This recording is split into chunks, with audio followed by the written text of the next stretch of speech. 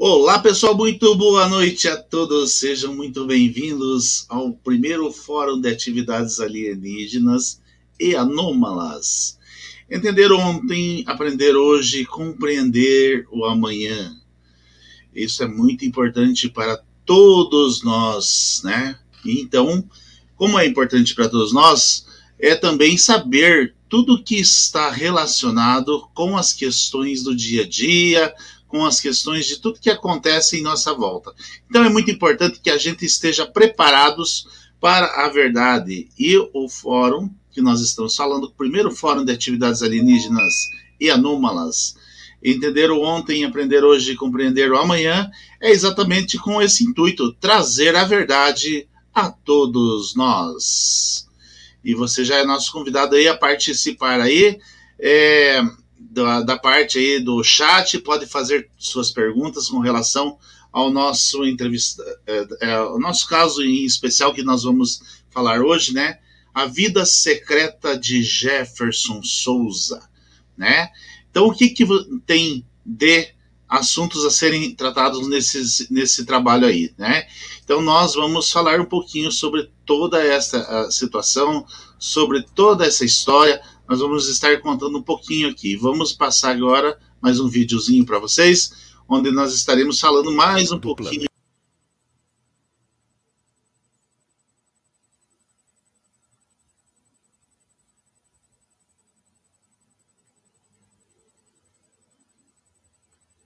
Não estou te ouvindo. Boa noite a todos, sejam todos muito bem-vindos. Né? Problemas técnicos acontecem. Boa noite, professor Paulo, pesquisador aqui de Ponta Grossa. Né? Ele vai estar falando aí na próxima quarta-feira, trazendo aí sobre o caminho do Pé Beru. Boa noite, Paulo. Boa noite, professor. Boa noite, professor Clema, grande amigo meu. É, estaremos aí quarta-feira falando do caminho do Piabiru. É, e, e, é engraçado, mas o caminho do Piabiru tem muitos pontos de interrogações. Quem criou, como criou, por que criou, a inteligência que foi feito o caminho do Piabiru, da onde veio essa inteligência, da onde veio esse ensinamento e o principal, quem criou o Piabiru. É, Clemba, esse vai ser uma discussão muito legal, muito bacana. Estou super ansioso para poder passar aquilo que eu, que, eu, que eu sei sobre o caminho do Piabiru. E, e com certeza vai ser uma noite muito legal, assim como a de hoje também. Perfeito. Então não perca aí, né? Vamos lá fazendo. E já vamos trazer também nosso amigo aqui, também o professor Paulinho. Boa noite, Olá. professor. Seja bem-vindo. Professor Paulo, que vai estar trazendo essa palestra hoje aqui para nós, né? Falando sobre a vida secreta do nosso amigo saudoso professor Jefferson Souza. Boa noite a todos. É uma alegria estar aqui com o meu xará, o Paulão, eu sou o Paulo, ou o Paulinho, né? e com o professor Dirceu Clemba, para falar desse assunto. Eu vou me centralizar aqui. Aí, eu já me centralizo se precisar aqui, viu, professor Dirceu? Então, assim, primeiro quero dizer que é uma alta honra estar aqui para falar com vocês a respeito do meu grande amigo Jefferson Souza. Eu creio que a consciência dele continua por aí, trabalhando no cosmos, né? E, na verdade, foi de muito bom gosto abrirmos essa live com esse documentário feito pelo History. History, né? Eu confundo às vezes, pelo History Channel. É, onde eles Discovery. falam a respeito. O Discovery, né? Discovery. Eu troco os dois pelo Discovery. Esse documentário feito pelo Discovery, pessoal, é fantástico. O que fala de um cientista conhecido como Jefferson Souza, que escreveu um livro chamado Projeto Livro Azul, The Blue Book Project. É, desculpe, The Blue Planet Project. Projeto Planeta Azul. É porque tem o Blue Book também, que é um documentário feito pelo Dr. Heineck a respeito de OVNI. Então, nós confundimos um pouco. Mas esse projeto Planeta Azul é considerado a Bíblia dos ufólogos nos Estados Unidos, porque ele traz várias informações científicas, a classificação dos extraterrestres e muito mais. E o próprio documentário fala que esse cientista, o escritor do projeto do Planeta Azul, estaria desaparecido. Então, hoje nós vamos falar a respeito disso. Nós tivemos a honra de conhecer o escritor do Projeto Planeta Azul. E eu creio que a maioria das pessoas que estão nos ouvindo nessa live conheceram o professor Jefferson, inclusive estão aqui por conta desse carinho, por conta desse fascínio que ele criava nas pessoas, pelo conhecimento que ele compartilhava e transmitia com, com todos nós. Uma pessoa enigmática e muito simples, um cavalheiro, um gentleman, uma pessoa muito humilde e educada, com conhecimento fora do comum. E o objetivo agora é tentar abordar alguns assuntos com vocês que, claro, vocês não ouviram ainda em uma live dele, certo? Algumas novidades a respeito dele. Por isso que nós, professor Disseu, também, nós chamamos de A Vida Secreta de Jefferson Borba de Souza. E tem coisas e peculiaridades a respeito dele que ele não chegou a comentar. Eu vou falando bem, de maneira bem informal. Eu quero ler algumas anotações dele aqui para vocês. E quero dizer que em primeiro lugar, é, o professor Jefferson, ele era um paranormal. Ou seja, ele tinha certas capacidades de percepção extrasensorial desenvolvidas. Ele não falava muito publicamente disso, nem em particular, era muito raro ele comentar. Até uma das razões pela qual ele acabou trabalhando para o Departamento de Defesa dos Estados Unidos e participou de três projetos, né? O projeto Planeta Azul é um deles, mas ele participou também de outros dois projetos, que eu vou falar um pouquinho deles também, projeto Nemesis, e eram projetos que, inclusive, tratavam de tecnologia reversa, tecnologia alienígena, né? Que o, o The Blue Planet Project, ele era sobre contatados, abduzidos e híbridos. Então, o professor Jefferson, inclusive, foi levado até a área 51, onde eles trabalhavam com híbridos. Foi até uma descoberta que ele fez lá, que fez com que ele fosse punido. Ele entrou numa área que ele não deveria ter entrado, né? Ele acessou informações que ele não poderia ter acessado e eles deram um jeito de puni-lo. A gente vai falar um pouquinho, mas isso o professor Jefferson contou em várias lives. Eu acho até que nós temos aí, né, professor Dirceu, é, algumas lives onde ele contou como que foi o processo de prisão dele. Mas hoje eu vou falar um pouquinho mais como foi que eles armaram essa prisão e como foi que também o professor Jefferson trabalhou como uma espécie de agente secreto deles. Então, é, é muito delicado o que eu vou falar hoje, né? É, também ele trabalhou no projeto Pulsar, Pulsar Project, que tratava de tecnologias, tecnologias alienígenas. Deixa eu sentar aí. Agora.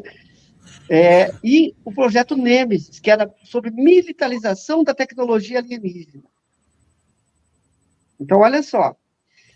Então, nós tivemos a grata satisfação de trabalhar ao lado de um grande cientista paranormal, e mais ainda, contatado. Então, hoje eu vou falar um pouco mais sobre o aspecto dele como contatado e como paranormal do que sobre o aspecto dele como ufólogo.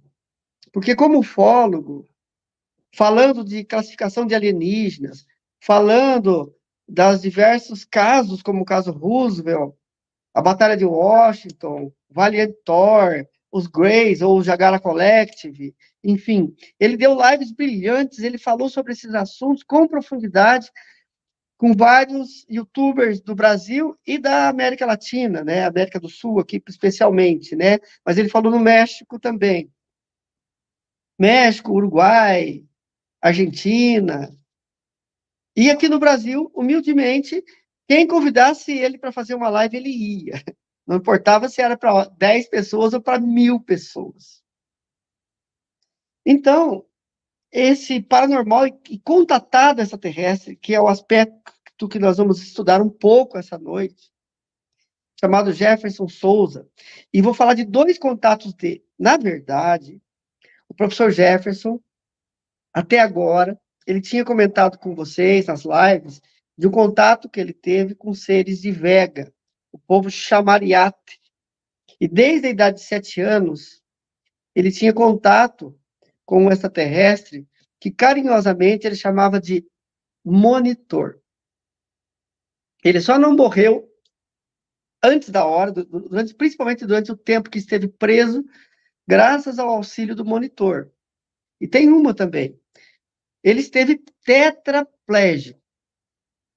Foi, assim, incrível para a ciência, como foi que o professor Jefferson saiu de uma tetraplegia para uma paraplegia, e da paraplegia o professor Jefferson começou a andar com auxílio de bengala, em alguns momentos ele chegou a andar quase sem o apoio de bengala.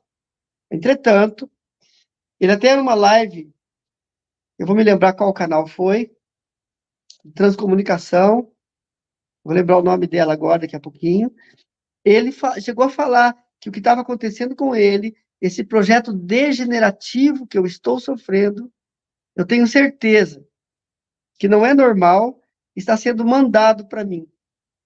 Porque eles têm uma arma que, com a amostra de DNA, eles conseguem atacar a pessoa energeticamente e jogar um câncer em cima dessa pessoa. Olha, essa é uma revelação bombástica que nós estamos fazendo nessa noite também. Eles têm a capacidade, de, com a amostra de DNA, lançar um câncer em uma pessoa à distância, por ondas vibratórias. O professor Jefferson chegou a comentar isso para nós, e, utilizando uma linguagem científica, até explicando mais ou menos como funciona esse processo. Até teve uma época, eu não vou entrar muito em detalhes para não sair do tema, que vários líderes de países sul-americanos desenvolveram câncer, tipo o presidente do Brasil, o vice-presidente, presidente da Argentina, presidente da Bolívia, presidente da Venezuela, todos quase que simultaneamente. Mas eu não vou entrar nisso agora. Outra coisa que o professor Jefferson falava sempre é que existe o poder por detrás do poder. E é justamente o poder por detrás do poder que trabalha com essas manipulações e dá um jeitinho de calar a voz daqueles que trazem a verdade. O professor Jefferson, ele sabia que não tinha muito tempo de vida. Parece uma coisa óbvia, né? Porque ele estava com câncer, estava lutando contra um câncer. Mas isso foi reforçado pelo fato dele saber que também estava sendo atacado de diversas maneiras, porque estava revelando informações nunca antes reveladas. E eu estava preparando o material para essa live dessa noite, essa live especial, e encontrei no meio dos papéis dele. É como se ele deixasse uma carta póstuma. Eu achei isso incrível. E eu me arrepiei quando eu vi. Ele montou uma cronologia escrita à mão, na primeira pessoa. E eu vou ler alguma coisa para vocês aqui. Eu vou passar bem devagarinho para vocês verem a caligrafia dele. A caligrafia dele. Isso escrito à mão. Na primeira pessoa. Eu diria, é como se ele soubesse que isso viria a acontecer, e ele deixou tudo muito bem organizadinho. É claro que isso mereceria um trabalho especial. Eu estou trabalhando é, dentro do que eu posso para organizar milhares e milhares de anotações que ele deixou em rascunhos, agendas aí. Então ele disse o seguinte: linha do tempo de Jefferson Borba de Souza. Nasci no Brasil em 15 de março de 1959. Sem formação acadêmica própria. E organizando os papéis dele, eu vou fazer uns parênteses na leitura sempre, para fazer alguns comentários. Eu encontrei uma carta que ele fez para o pai dele na época, quando ele tinha 18, 19 anos, pedindo uma ajuda para ir para os Estados Unidos. Ele já trabalhava na, numa, na, na, na Voz do Brasil, na Agência Nacional de Informação, na rádio, que tem a Voz do Brasil lá, e que um emprego arrumado para ele pelo famoso coronel Uchoa, Depois eu vou falar um pouquinho das experiências dele ao lado do Coronel Uchoa, que apresentou ele para ufólogos do mundo todo. Ele também esteve na Argentina, na Espanha, viajou o mundo todo. E nessa carta, ele pedia para o pai dele uma ajuda, porque ele gostaria muito de fazer uma, cursar um curso superior, né, fazer uma universidade nos Estados Unidos, mas ele não tinha dinheiro para ir. Ele precisava de uma ajuda para passagem, porque ele já tinha conseguido um curso lá. Agora, eu não sei detalhes se ele chegou a ir com a ajuda do pai dele, como que ele foi, porque eu acho que não deu certo. Eu tenho quase certeza que não deu certo, porque primeiro ele foi para a Espanha, depois da Espanha que ele foi para os Estados Unidos. Mas eu vou ler a cronologia para vocês aqui. Ele fala sem informação acadêmica própria. Mas depois que ele esteve na Espanha, aí ele teve, fez uma formação na Espanha. Foi otorgado para ele um diploma em tecnologia da informação. Depois eu vou mostrar para vocês uma cópia desse certificado aí. Estou rodeado de uma porção de papéis aí, mas eu quero mostrar algumas coisas com a letra dele ao vivo. Documentos, inclusive, mas alguns eu, eu digitalizei para ficar mais fácil. O professor Disseu, na hora certa, eu vou pedir para ele compartilhar e apresentar para vocês. Então, ele fala que nessa cronologia, é como se fosse ele fazendo, porque, como eu disse, eu encontrei essa cronologia feita à mão por ele. Ele fala assim: aqui eu apresento fatos pertinentes ao caso com, rele com relevância, obtidos posteriormente, em ordem para compreender o meu passado, para organizar o meu presente e preparar para preparar-me para o meu futuro. Então, em chave, ele já passa uma chave muito interessante aí. Com fontes verificáveis para pesquisar.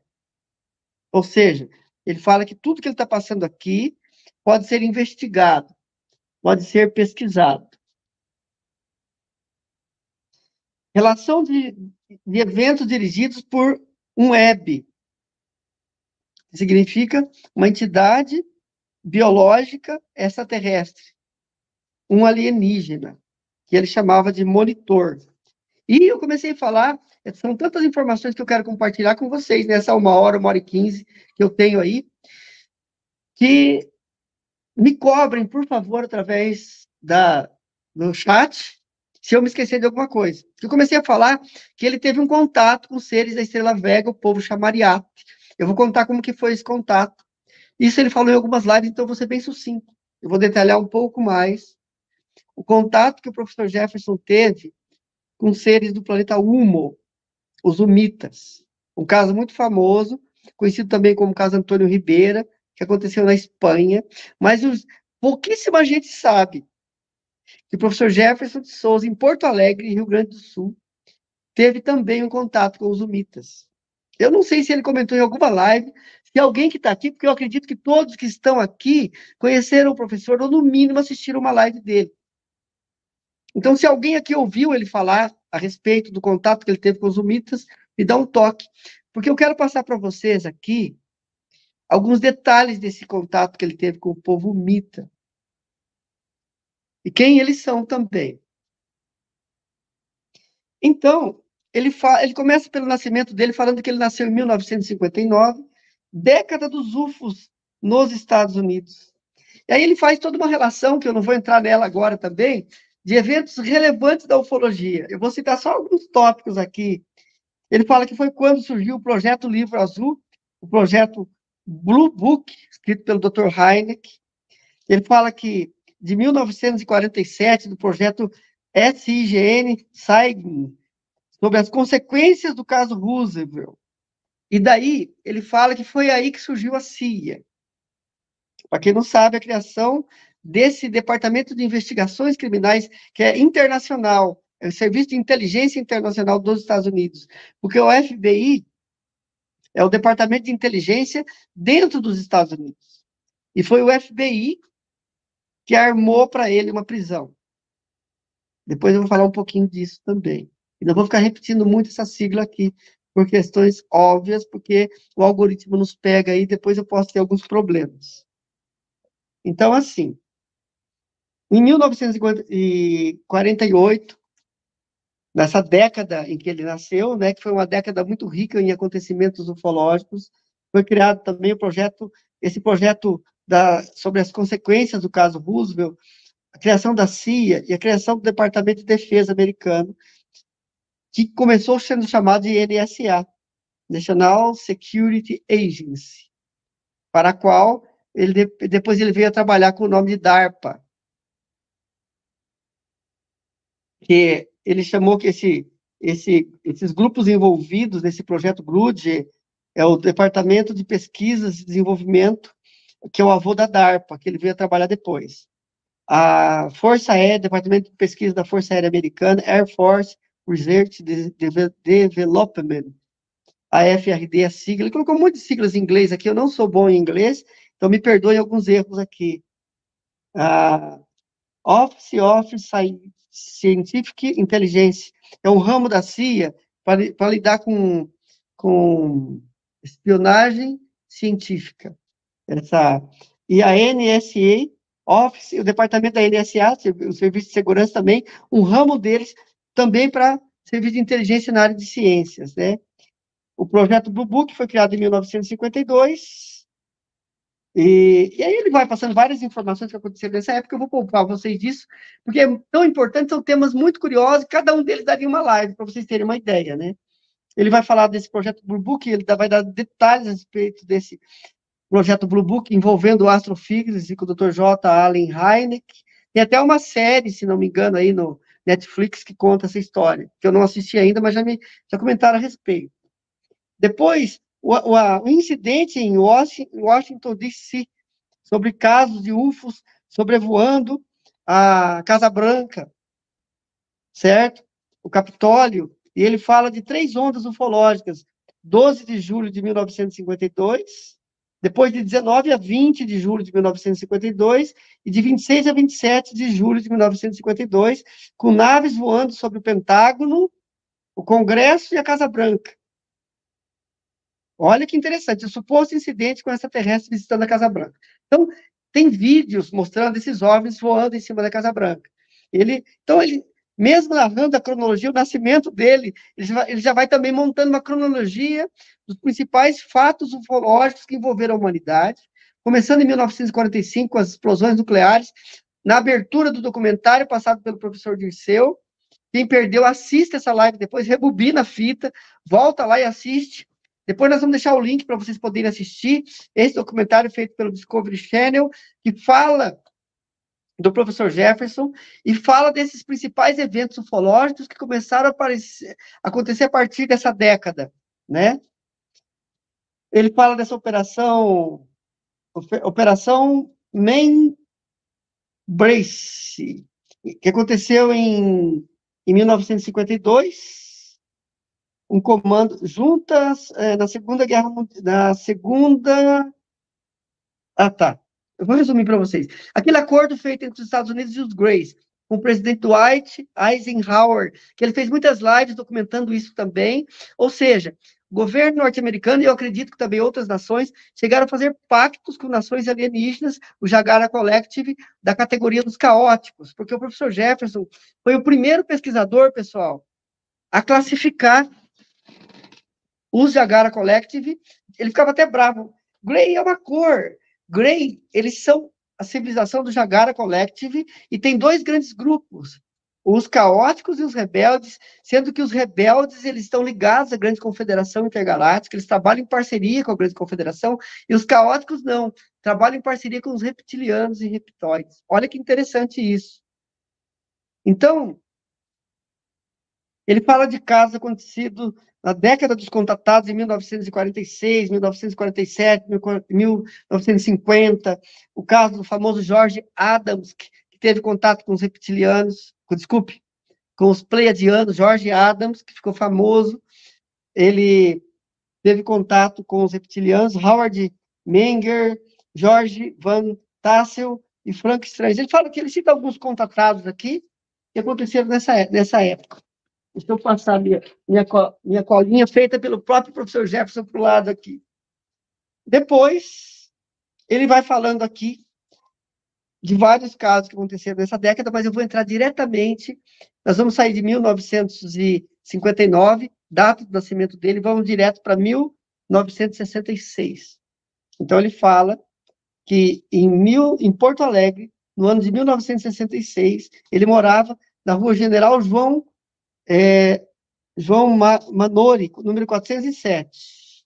No quarto dele, na idade de sete anos, ele teve um contato com os seres de Vega. Foi aí que ele teve contato com a civilização chamariata.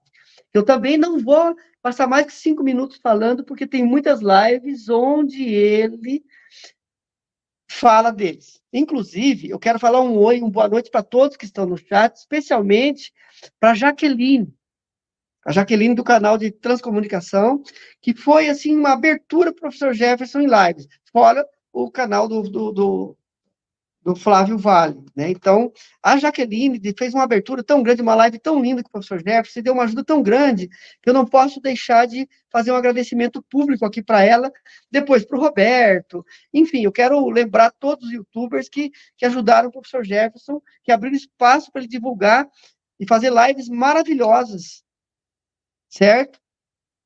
Mas foi no canal da Jaqueline que ele falou a respeito do ataque que ele vinha sofrendo é, fisicamente através de frequência, certo? É por isso que eu quis fazer essa, essa lembrança especial aí. Então, ele fala que em Porto Alegre, em 1966, ele estava no quarto dele e, de repente, abre uma luz branco-azulada vindo da parede. E ele chama a irmã Margarete, que estava dormindo profundamente na cama ao lado, mas ela não responde, ela não acorda. E aí ele vê um buraco na parede, cercado por uma luz, Através dele aparece uma mata banhada por uma luz, pela luz da lua. Ou seja, eles abrem um portal no quarto dele. E ele fala que um homem vestido com um macacão prateado metálico aparece e entra no quarto dele, que não era muito alto. Ele entra por aquele buraco aberto na parede. Ele não era muito alto, era parecido com um habitante da Índia, porque tinha uma pele queimada, é uma pele, como que eu poderia dizer, bronzeada, e o cabelo liso. Então ele fica com muito medo, mas ele tenta gritar e não consegue. Então esse ser se aproxima sorrindo e pergunta para ele, né? Olha, é, quando o ser sorri, o professor Jefferson comenta que ele quebrou um pouco e gerou uma paz e tranquilidade. Estou contando isso para vocês também pelo seguinte: como o professor Jefferson entrou nas lives fazendo, falando de casos de acordos com o governo americano, da área 51, base na Lua, tanta coisa, ele pouco falou dos contatos dele. Nós estávamos frente a frente com um contatado. Então, não fosse pelo valor de todo o conhecimento adquirido por ele, depois eu vou contar qual foi o processo que a civilização chamariat fez com ele para abrir a telepatia cósmica. Então, outra informação assim relevante que eu vou dando informação no meio da cronologia aqui. O professor Jefferson tinha uma abertura telepática. Eles abriram uma espécie de telepatia cósmica, que depois eu vou explicar como que funcionava, através da qual ele conseguia captar informações de várias civilizações do espaço. E tinha também acesso aos registros acágicos da natureza. Ou seja, professor Jefferson conseguia, para quem não sabe, registros acásticos são uma espécie de backup do universo, onde tudo que vai acontecendo vai ficando gravado nos registros acásicos. E o professor Jefferson conseguia acessar esses registros, inclusive contando a história de outras civilizações que habitaram a Terra, como os Atlantes, a civilização de Mu e os Lêmures, os Lêmures, a Lemúria. Ele faz um resumo disso em um livro que ele escreveu, chamado Relatório Alfa, que não saiu ainda por questões que aconteceu tanta coisa, inclusive a morte dele, e a gente tá, estamos acertando documentação para poder lançar esse livro em breve. Então, ele fala que esse ser, voltamos para o contato que aconteceu no quarto dele, esse ser se aproxima, dá um sorriso, e isso faz com que ele perca um pouco do medo, relaxa um pouco, ele relaxa e fica mais tranquilo. E o ser pergunta para ele assim, com uma voz musical que vem dentro da minha cabeça, diz ele, porque aqui o relatório dele está em primeira pessoa. E fala assim: o ser diz para ele: Podemos conversar ou prefere que eu me vá? Olha que lindo. Dá para perceber que é uma civilização do bem, abre aspas, porque respeita o livre-arbítrio dele. Não foi uma abdução, não foi um rapto, é diferente, foi um contato, onde essa civilização pergunta para ele: podemos conversar ou prefere que eu me vá? Deixa para ele a possibilidade. Ele era uma criança de sete anos, vocês estão entendendo? Ele diz: o ser continua, só podemos conversar se você concordar em fazê-lo. Não podemos obrigar você a fazer o que não deseja fazer. Sem entender o porquê, eu queria muito falar com aquele ser estranho, com aquele estranho homem que me fazia sentir tão bem e calmo. E ele me convidou a levantar e vir com ele a um lugar que queria mostrar-me. Mas quando fui, não vi mais a floresta banhada pela luz da lua que eu via antes. E vi um lugar maravilhoso. Então, olha que interessante. Estou guardando na ordem aqui para não misturar. Vocês estão lendo uma cronologia do professor Jefferson, que essa cronologia vai me abrir o portal para me contar o que, os segredos por detrás dele, o que realmente aconteceu com ele, tá, pessoal? Tenha paciência aí, se alguma coisa for repetitiva, que ele talvez já tenha falado em lives, tá? Quero mandar um oi também para Shirley, da Fênix, e a Shirley e o canal da Fênix, a Maria, a Maria Ulis também, canais que deram, que o professor Jefferson não fez uma, fez dezenas de lives com eles, e lives inéditas, então, eu estou vendo alguns aqui no chat, sempre que eu posso dar uma olhadinha para o lado aí, e estou meio tentando acompanhar o chat aí, tá? Então, já falei um oi para a Jaqueline, falei um oi para a Shirley, o Roberto acho que não está, mas eu mandei um oi para o Roberto também. Então, esse ser levou o professor Jefferson. Deixa eu pegar um, um slide meu aqui, pessoal, porque é o seguinte: nesse slide, é, eu deixei digitado, porque a letra dele aqui está meio confusa. Então, deu um trabalhinho para me digitar. Mas deixa que eu abro aqui, professor. Não precisa compartilhar agora o slide, tá?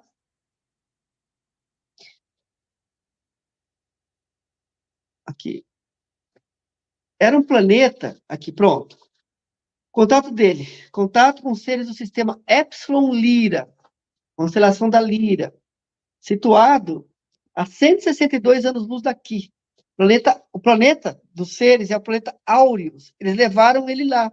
Esse planeta é um terceiro planeta de um sistema binário, chamado Takash Áureos. Como tem umas, umas palavras meio, uns nomes meio difíceis aí, eu tive que passar limpo aqui, com muito cuidado, soletrar certinho para não errar.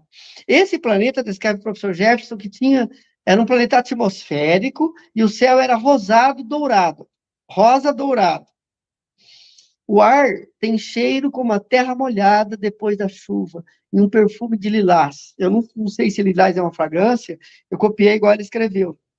O povo de Auriusama, conhecido como Takashians, eles vestiam vestidos de toga like branca, que é um material muito suave, muito confortável, usando pés descalços, num solo muito macio.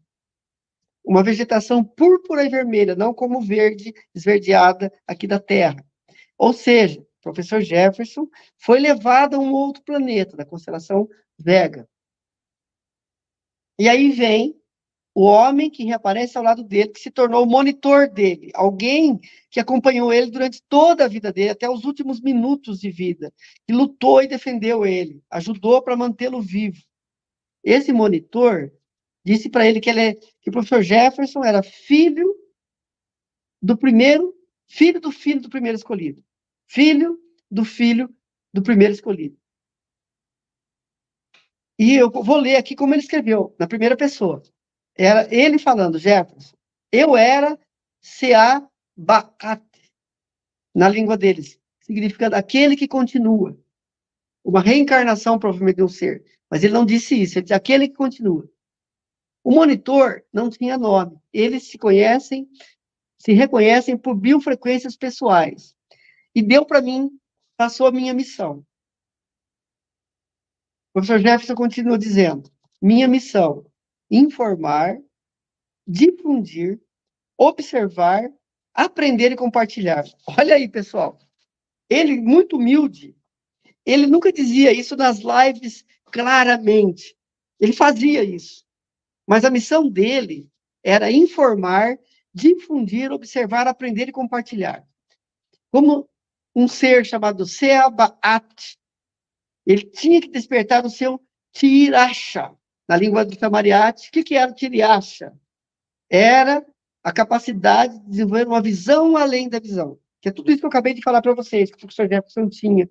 Essa espécie de telepatia cósmica, essa capacidade de canalizar informações de várias civilizações do universo.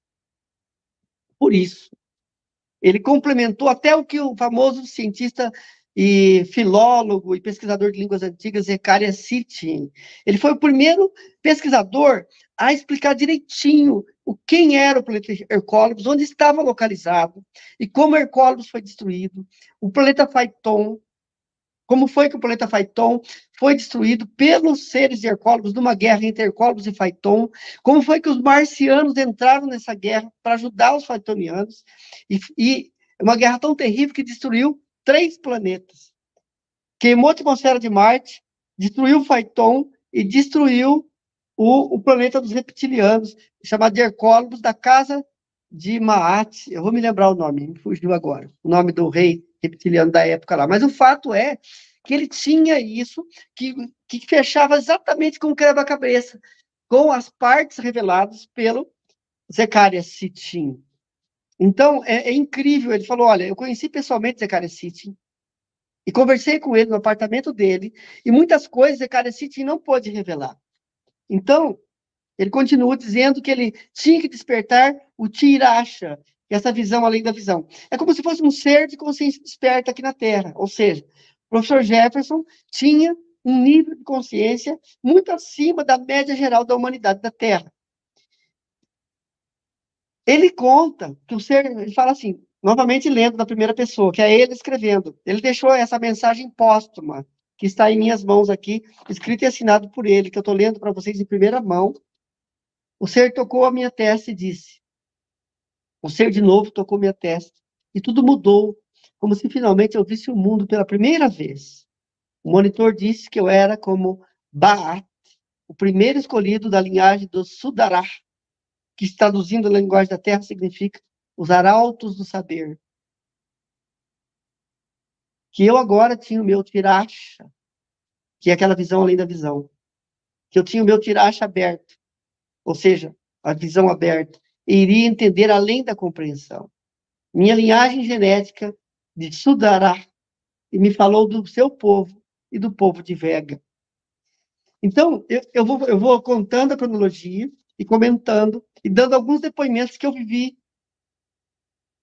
como pesquisador ao lado dele, quando nós fomos visitar o pesquisador e hipnólogo e terapeuta e psicólogo e psicanalista Alfredo Welker, grande amigo nosso, que herdou, abre aspas, as anotações do, do famoso médico e um dos primeiros a utilizar hipnose em regressões, Dr. Oswaldo Alves, Inclusive, o professor Disseu me disse que o pessoal quer uma live dele, uma live falando, contando a história dele, que eu, eu fui assistente dele durante um período. Também participei de pesquisa ao lado de Dr. Oswaldo, um arquivo vivo que infelizmente também já se foi.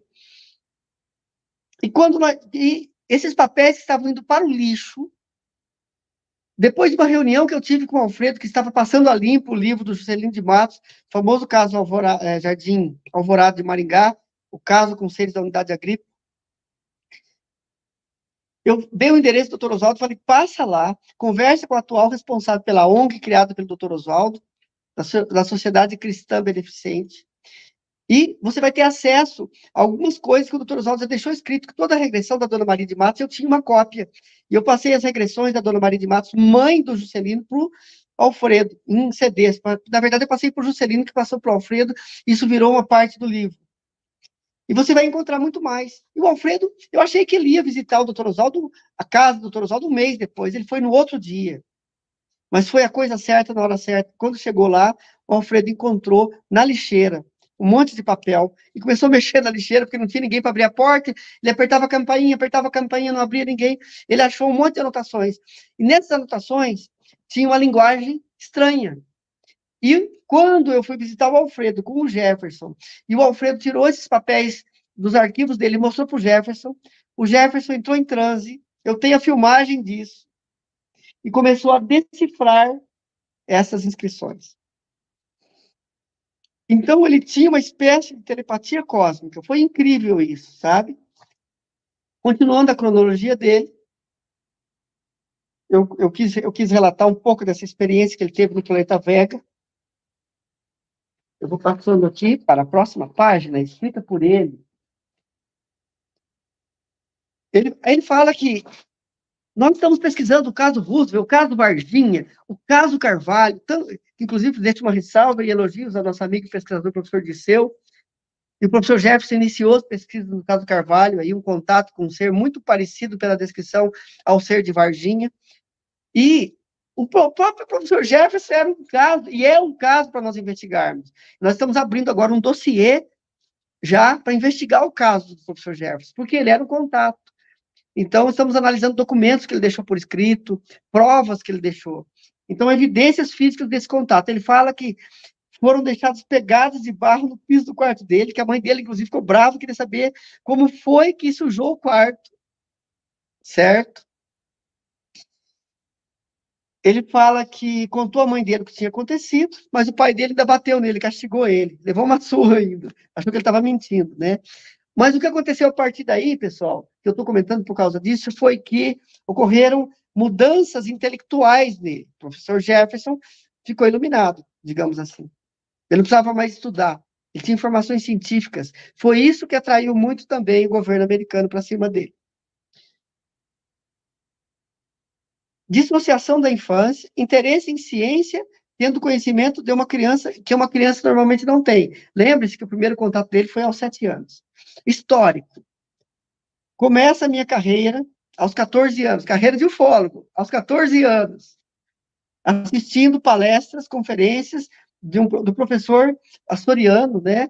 Esse professor chamado José Vitor Soares, cérebro açoriano que vivia na Grande Porto Alegre e era autor e investigador do tema. Depois ele visita diversos congressos, seminários, conferências no Brasil. Em 1970, mas ó, 66 foi, foi o contato. Em 1970, ele já participa de um congresso da Apex em São Paulo e conhece o Dr. Silvio Lag, Irene Grank e o Dr. J. Allen Heineken, que tinha vindo para esse congresso. Certo? Que foi o escritor do projeto Blue Book. Em 1981, ele conheceu o general Uchoa e participou de eventos em Alexandria, que é uma fazenda especial que ele tinha lá, onde tinha portais, tinha experiências. O general Uchoa é uma lenda da ufologia.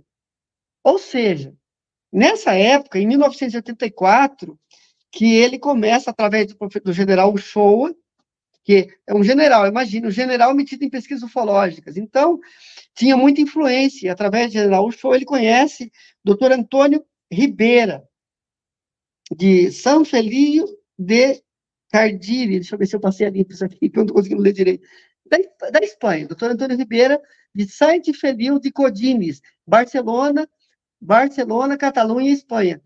Um falecido autor e investigador.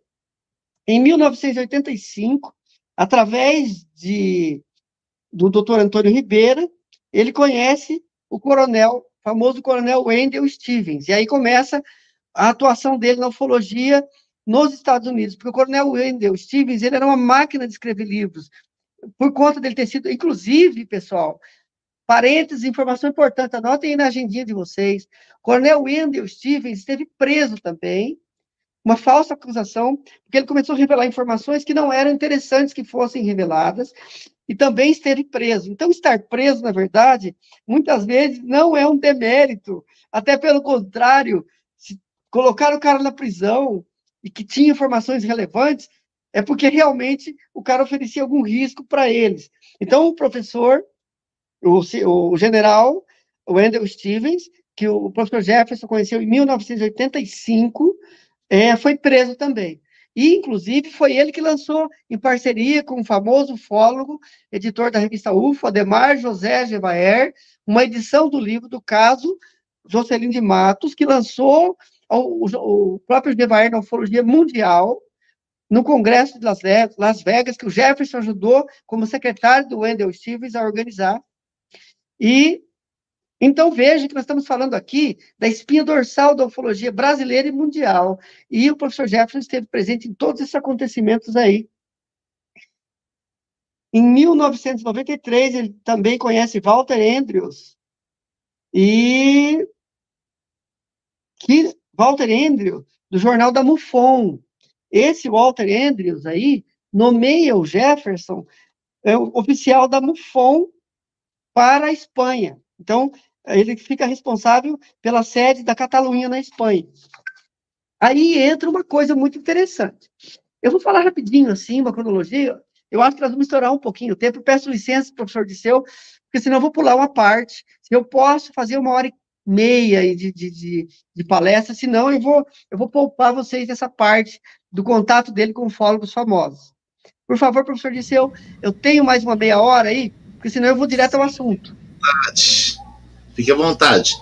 É, Paulo, é, Paulinho, antes de nós continuarmos, vamos colocar o vídeo Sim. que mostra a relação do professor Jefferson com o projeto Planeta Azul? Por favor. Deixa eu ver se é esse aqui. Verdade. Que maravilha, professor Disseu. Ficou ótimo. O senhor colocou no ponto certo, na hora certa, onde o documentário fala do cientista Jefferson Souza, cujo paradeiro era desconhecido. E hoje, um dos segredos a respeito do professor Jefferson, que eu vou mostrar para vocês daqui a pouquinho, é justamente é justamente um nome, uma identidade falsa que eles criaram para ele, de Richard Romero. Tem um nome no meio que eu não me lembro agora. Eu sou franco para vocês. Os que me conhecem sabem que eu sou um pesquisador. Eu tinha tentado parar de mexer, porque várias razões, e eu não vou entrar em detalhes. Eu tive em meu poder um objeto extraterrestre, e durante o tempo que esse objeto esteve comigo, não está mais, eu duvidava do, da pessoa que recebeu, por várias razões. A gente desconfia de tudo, né? Nesse meio tem muitos charlatões. E o professor Jefferson, em detrimento disso, né, ele sofreu, porque a gente tinha dúvida dele. vou ser franco para dizer para vocês. Por quê? Eu vou explicar por quê. Primeiro ponto. Em várias conversas que eu tinha com ele, ele tinha um sotaque espanhol. Ele estava falando em português, de repente, hablava com as silhas de la, as pessoas em las silhas de la calle, enfim, eu falo, mas como assim, né? É, é muito normal você falar espanhol com um sotaque em português. Você vai para os Estados Unidos e mora 30 anos lá, você vai falar inglês com muito pouco sotaque em português. Quando você volta para o Brasil, você é brasileiro. Em pouco tempo, seu sotaque desaparece. Entretanto, ele mantinha um sotaque espanhol. Então, eu cheguei a duvidar, eu cheguei a pensar, sou franco dizer para vocês, cheguei a pensar que o professor Jefferson, esse Jefferson que estava aqui no Brasil, era alguém se fazendo passar por ele. Eu vou contar por quê. Porque ele me mandava alguns manuscritos, e de vez em quando ele aproveitava alguns envelopes usados. E um dos envelopes veio em nome Paulo, de Sim. A live foi derrubada. É, caiu. Derrubado. Será que é porque nós estamos usando muito a cena do History? Do, do, do, do, do Discovery? Acho que não, hein? É uma live fechada. Tenta voltar.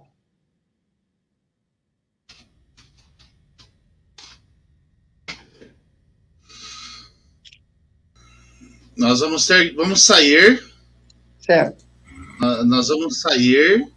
Vou mandar uma live em, é, em um link novo. Tá. E avisa o pessoal lá pro grupo.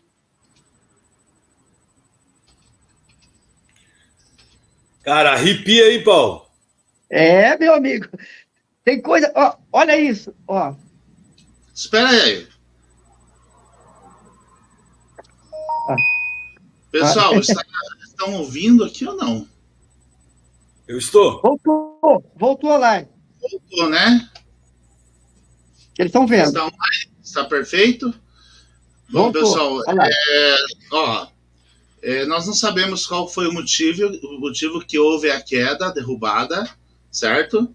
É, nós não estamos aqui fazendo nenhum tipo de é, material impróprio. Tudo que está é, sendo divulgado aqui é um material livre na internet, está disponível no próprio YouTube, certo?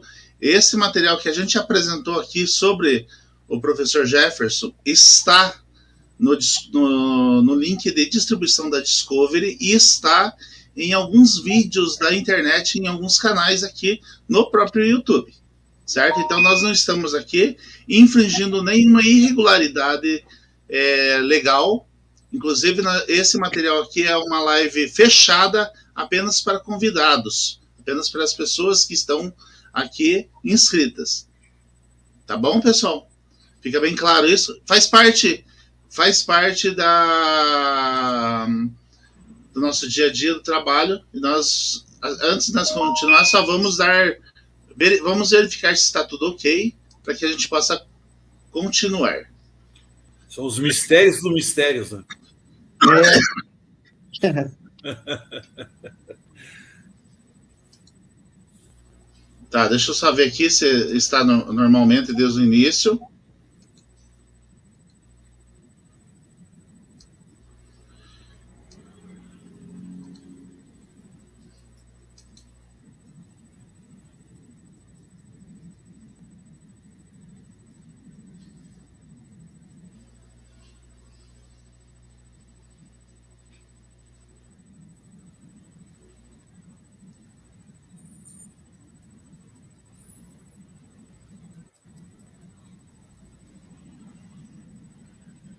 Carla Baby ali, ó, no, no chat, professor. Antes da gente continuar, Paulo, só estou verificando aqui algumas coisas, tá? Tá. Um Ela escreveu lá uma mensagem que o YouTube mandou lá que a gente não tinha visto sobre o stream lá. Beleza, beleza.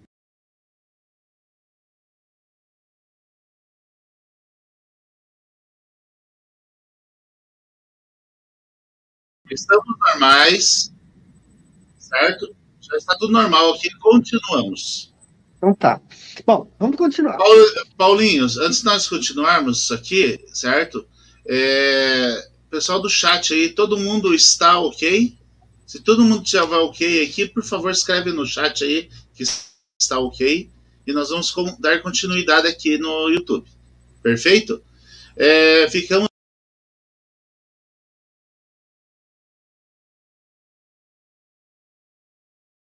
aqui algum, alguns minutinhos aqui fora do ar.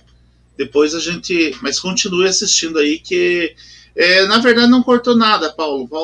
É, quando você voltou a falar, né? É, voltou, aqui caiu. Então, pode continuar é, da onde você parou em relação ao finalização do vídeo. Tá. Então, eu estava até pedindo um tempinho maior aí por conta de todos esse, esses imprevistos aí. A gente vai falar uma meia hora a mais aí, tá, pessoal? Tenham paciência aí, que tem muita coisa para compartilhar com vocês aí ainda. Então, assim, uma das funções do povo chamariate é razão dos Vegas para o contato com a Terra. Eram múltiplas razões. Eles vêm da estrela Vega 4, que é uma constelação, na verdade, tem vários, vários planetas e tal. Experimentos genealógicos com indivíduos selecionados. Ou seja, eles estavam fazendo experiências genéticas com seres humanos, hibridização de seres humanos. Qual o critério dele? Genético, mental e psiônico. Consumo de nutrientes recomendados. Então, eles estavam vendo peixes e vegetais. Críticas à nossa idiosincrasia e sistemas sociais, à nossa forma de sobrevivência. Eu diria até que isso foi uma das coisas que atrapalhou muito a cumprir, o professor Jefferson cumprir a missão dele. Porque como uma... Eu, eu diria para vocês que ele era praticamente uma consciência extraterrestre.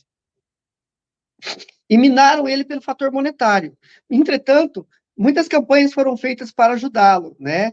Mas ele não conseguiu ajudar o mínimo para sobrevivência e não dava para ele precisava de uma estrutura muito maior. Então, é, outra coisa sobre reencarnação, eles estavam estudando essa matéria eterna e somente se transforma, reciclagem da alma e evolução perispiritual, presença entre a humanidade e como eles estão presentes na humanidade como humanos, fazem alterações cosméticas para parecerem humanos. Enfim, isso aqui é uma das coisas que os, os cidadãos de Vega fazem. Eu creio até e nos últimos momentos, ele já não era mais uma. Ele oscilava entre uma consciência terráquea e, e de vega. Uma outra coisa interessante, eu estava falando para vocês, estou recuperando o fio da meada, é que eu estava suspeitando que eles. O que eles fizeram para ele? Como o nome Jefferson de Souza ficou conhecido? Porque ele mandou uns manuscritos para uma gráfica para lançar o livro The Blue Planet Project, que não deveria ter sido revelado, e o, o Carlson, Gil Carlson, se não me engano, que era o dono da editora, colocou o nome dele como escritor do livro. E aí e não deu um vintém de direitos autorais para ele. Então ele o livro vendeu milhões e virou best-seller e ele não ganhou um real.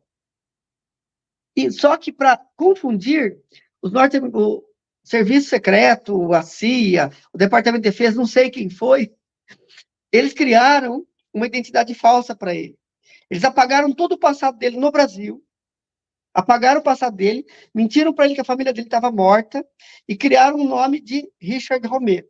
Aí, eu, aí veio a minha o meu feeling como pesquisador, eu comecei a pensar que, na verdade, ele era o Richard Romero, se fazendo passar pelo Jefferson de Souza, que provavelmente tinha sido preso ou morto. E ele veio aqui para o Brasil e assumiu a personalidade. E eu demorei muito para encontrar as provas de que ele não era o Richard Romero. Para isso, eu tive que conseguir uma cópia do processo de acusação dele. Eu consegui uma cópia do processo pelo qual ele foi encarcerado por mais de 20 anos. Pasmem. Sabe quando eu consegui essa cópia? A semana retrasada. E mais ainda, a cópia do processo em inglês e uma pessoa que conheceu o professor Jefferson, que mora no interior de São Paulo, antes dele ir para os Estados Unidos, conheceu ele nos anos 80. Essa pessoa entrou em contato com ele quando ele voltou para o Brasil, depois de 2019, e começaram a conversar. E tem, mandou para mim no meu WhatsApp, eu tenho documentado cópias de conversas que ele teve com o professor Jefferson, inclusive uma carta que o professor Jefferson mandou para ele, antes, na época, né, que não tinha internet como hoje, e alguns mistérios a respeito do professor Jefferson, porque ele mandou por escrito grupo de ufologia, para o grupo de ufologia dele, no interior de São Paulo, uma carta documento dizendo que em alguns dias aconteceria um fenômeno nos céus do Brasil, uma visualização de vários OVNIs que ficaria marcado pelo resto do seria um fato histórico e que eles assistissem o Fantástico naquele domingo. E foi dito e feito. Ficou conhecido como a, a Noite dos OVNIs no Brasil. Agora eu esqueci a data, foi maio de 86, não lembro mais. Eu tenho anotado aqui, daqui a pouco eu falo para vocês. Ou seja, ele previu a noite, a famosa noite dos OVNIs. Quem pesquisa ufologia sabe o que é. Gente, eu tenho o testemunho do cara, que não falo, desculpe falar o cara, que eu não posso falar o nome dele aqui no ar, sem autorização dele. Mas ele me mandou documentos a respeito disso, desse contato que ele teve com o professor Jefferson antes e depois da volta dele, tá? Então, o grupo dele ficou com medo do professor Jefferson. E quando o professor Jefferson voltou, ele pediu uma ajuda para eles também, no que não foi possível ajudar. Eles estavam com receio do que do que realmente quem ele realmente ele era. Então eu vou dizer para vocês agora em primeira mão, eu estou falando aqui em primeira mão, mas não sei. O professor Jefferson era uma pessoa muito enigmática, ele tinha muitos contatos. Eu vou passar rapidamente para vocês o contato que ele teve com os humitas. E me chamou muita atenção porque eu tive uma experiência com os Umitas quando eu lancei o livro Naves Cósmicas em, em 2001, que nem, nem foi mérito meu, foi com a ajuda de um contatado, o senhor Davi Ciene Bueno, em memória, que faleceu em fevereiro desse ano. E eu vou lançar uma segunda edição desse livro em homenagem a ele.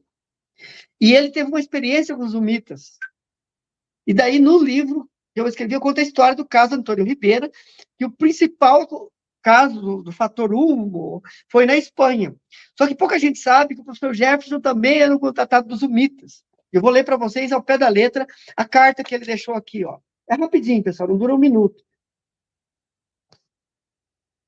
Contato 2, segundo contato do professor Jefferson, registrado pelo próprio punho e assinado aqui, eu tenho aqui. Povo Luma, Umitas. Eles vêm da estrela Wolf 424. Sistema estelar binário é um sistema estelar binário composto por duas anãs vermelhas, distante 14,2 anos-luz do Sol, localizado na constelação de Virgo, Virgem, né? Entre os sistemas estelares Virgens e Epsilon Virginiae. Falei sobre esse contato de 1972, quando eu tinha 13 anos, na UFO Library de Studio City, na Califórnia, para Joseph Randazzo, diretor do projeto UFO, da UFO Library de Contatos Internacionais. Ou seja, ele já era uma celebridade como contatado nos Estados Unidos e contou para essa empresa que essa essa livraria, essa essa revista, essa não sei o que que era, essa UFO Library, que provavelmente eram publicações a respeito de ufologia. Ele foi entrevistado e ele falou desse contato em mil esse contato que ocorreu com ele em 1972. Então ele fala o seguinte: Esse contato com os Umitas em 1972, no bairro Três Figueiras, em Porto Alegre, onde fui levado a bordo de uma nave Umita por meio de um raio gravimétrico, onde reparei a distorção dimensional. Então, foi a primeira experiência dele com distorção dimensional. E muito legal, porque depois ele pôde trabalhar nisso, dos projetos científicos que ele participou, como que eles conseguem distorcer a, as dimensões. Ele entra dentro de uma nave que tinha um tamanho X, só que lá dentro ela era muito maior do que parecia por fora. Ele explicou isso em algumas lives também. Se não me engano, foi no canal do Roberto. Já que o lugar onde o raio me deixou era enorme e ocupava uma área de 10 vezes ou mais maior que a área, a massa da nave que me levou ao seu interior. Então, ele, como era já desde os sete anos de idade, ele tinha um, um, um estado de consciência desperta, ele percebeu esse detalhe, essa distorção. Você entra num lugar que parece ser pequeno, você olha de fora, ele é pequeno, mas quando entra lá dentro, ele é muito maior. Então, ele fala que ele teve número de contatos com os Umitas, cinco. Cinco contatos lógicos e práticos. Número de contatos com os, os, os povos de Vega, os veganos, o povo chamariate. Dez contatos. São, são seres gentis, informativos e solícitos. Ou seja, nós aqui caçando contatado. E a pessoa que dava palestra sobre contratados eram contratados debaixo do nosso nariz. E nós, como ufólogos, não pudemos, ele em vida, explorar melhor tudo isso. Felizmente, devido ao fato do nível de consciência dele, ele deixou pronto. Eu diria para vocês que essa live de hoje foi pronta, foi preparada por ele. Eu estou seguindo só um script. Então, assim, fomos eu. Olha, que, olha a revelação que ele vai fazer agora sobre um portal que tem nos Estados Unidos. Fomos eu, e o, na primeira pessoa sempre, eu lendo o que ele escreveu. Fomos eu e o Coronel Stevens as montanhas Panamint, em Death Valley, Califórnia, base operacional, com portais que levam diretamente para a Lua, saindo no lado oculto dela, na, a nordeste, na cratera Mares Moscovienses, e também portais que levam para Marte, na região de Sidônia. Com ambos os complexos estão abaixo do solo, ou seja, nos Estados Unidos, nesta região da Califórnia, a famosa Monte Shasta. Existem portais que transportam você diretamente, um deles para o lado oculto da Lua e outro para as bases marcianas. Aí ele continua dizendo: o coronel Stevens ia escrever até um livro sobre isto, mas a organização do Congresso Internacional de Ufologia, que foi realizado em Tucson, Arizona, de 3 a 7 de maio de 1991, tomou todo o tempo. Ele estava preparando um livro, e daí ele, ele fez o congresso e não conseguiu terminar o livro. Depois ele vai preso. Em 1988, olha aqui, pessoal, a informação bombástica. Um dos mistérios a respeito do professor Jefferson, que eu vou até diminuir a velocidade para falar agora. Atenção, pesquisadores de ufologia.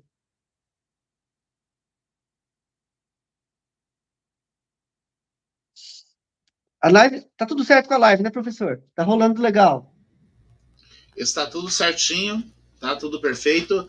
É, só, então vamos lá, vamos só dizer o que aconteceu, né? Então o YouTube aqui enviou uma mensagem para mim aqui dizendo que a transmissão foi interrompida devido a uma correspondência com material protegido por direitos autorais. Isso a gente concorda é, sobre esse fato, que trata-se de um material que está né, dentro do canal de transmissão. Então aqui está dizendo qual é o título do, da, live ah, que a justificativa que as transmissões são interrompidas quando detectamos conteúdo protegido por direitos autorais. As transmissões são restabelecidas automaticamente quando a exibição do material em questão é encerrado, ou encerrada, né? E aqui está a equipe do YouTube, né, falando sobre isso. Então, daí a justificativa porque aconteceu a queda, né, e nós já estamos normal, né, então sem nenhum problema. Foi foi devido àquele videozinho que a gente acabou fazendo a, a transmissão aí, né? Onde fala justamente sobre o material, sobre a vida, a relação do professor Jefferson com o projeto do, do sobre o projeto secreto que aconteceu. Então isso aí é uma, uma situação lá relacionada a isso, né? E, mas como nós estamos aqui em modo em modo somente para convidados, né? Então não teremos problemas nenhum aí com relação a tudo isso. Então você que está assistindo, assistiu. Você que deixou para depois, talvez você não vai poder assistir essa parte que provavelmente o, YouTube vai tirar do ar. Perfeito, professor? Mas eu, eu sugiro, eu sugiro, professor, o senhor deixar depois o link na descrição e as pessoas Sim. clicam lá e assistem esse documentário. Porque vale a pena Perfeito. assistir inteiro. É, acho que 20, 40 minutos no máximo, se não me engano. 18 minutos. 18 minutos. Aí, ó, curtíssimo. Beleza, obrigado, professor Disseu. Então, vamos lá. Eu estava tendo... Como? Pode continuar. Tá. 1988. Quer, que coloque o material do. Quer que coloque o material do slide? Deixa na tela, por favor. Daí eu vou falando para o senhor ir virando. Deixa na capa de entrada. Espera aí, deixa eu remover aqui, daí você vai falando qual que você quer que. Tá. Eu vou falando enquanto isso. Deixa aí parado um pouquinho. Deixa parado aí um pouquinho, tá? É, deixa, deixa eu abrir o meu, meu guia aqui, só um segundinho, pessoal, desculpa aí. Bom. Olha lá, vamos lá. Em 1988, o professor Jefferson foi abordado por agentes federais em New Rochelle, Westchester, New York, enquanto ia visitar amigos. E colocou amigas aqui, tá? Então, ele foi abordado por agentes federais em 1988. Eram agentes do DNI, que é ODNI, Office of Director of National Intelligence. Então, esses agentes do, do escritório de escritório nacional de inteligência, ou seja, serviço secreto, resumindo, traduzindo, simples e rápido. Disseram para ele que eles estavam recrutando ele como consultor para o serviço de inteligência, para o escritório do serviço de inteligência. E a partir daí, eu vou pular, porque essa história ele conta na live, como que ele foi levado para o aeroporto, para um avião que tinha janela pintada de preto, como que ele desce lá em McLean, Virgínia. E ele entra na base lá, e toda essa história ele já contou publicamente. Mas em 1988, ele foi recrutado para trabalhar para eles. Não foi dada uma credencial para ele, GS8, top secret.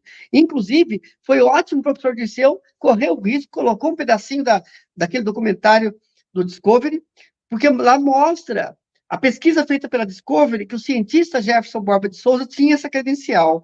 E aqui, no, manu, no manuscrito dele, ele fala dessa, a respeito dessa credencial, que ele foi o primeiro não americano a receber essa credencial. Ele escreve assim, ó. Eu fui a única exceção de um cidadão não americano a receber uma GS-8, que é o top secret.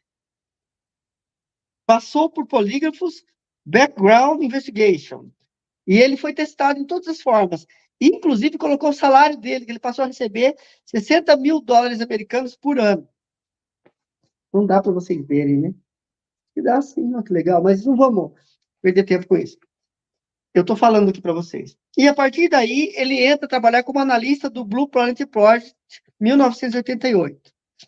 Aí, ele é movido ao setor 4 do Groom Lake Facility, na área 51. É aí que ele é transferido para a área 51, na base de Nellis Air Force, na base da, da Força Aérea Americana em Nevada. E ele tinha acesso do nível 1 ao nível 5, apesar que são 21 subníveis. Projetos do Blue Planet Project, que são projetos de engenharia genética, né? Nesse slide que o professor Dirceu deixou na, na, na tela aí, eu estou falando conferência sobre o cientista e escritor, a vida secreta dele, porque aqui nós vamos entrar um pouquinho daqui a pouco, porque, na verdade, a acusação que eles colocaram foi obstrução de justiça, mas eles tentaram imputar sobre ele uma acusação de abuso de menor também. Não foi comprovado abuso, ele foi inocentado nessa questão de abuso de menor, tá? É que eles fazem isso. Eu tenho cópia do processo. Tem toda uma cronologia. Depois eu vou comentar um pouquinho a respeito disso. Em 1989, ele foi movido a trabalhar no projeto Nêmesis. E esse projeto Nêmesis é um projeto de militarização da tecnologia alienígena. Então, por conta da telepatia dele, ele tinha capacidade, inclusive, de ajudar eles num projeto chamado Minemonáutica, que é um projeto de pesquisa científica através da que nós chamamos de viagem astral.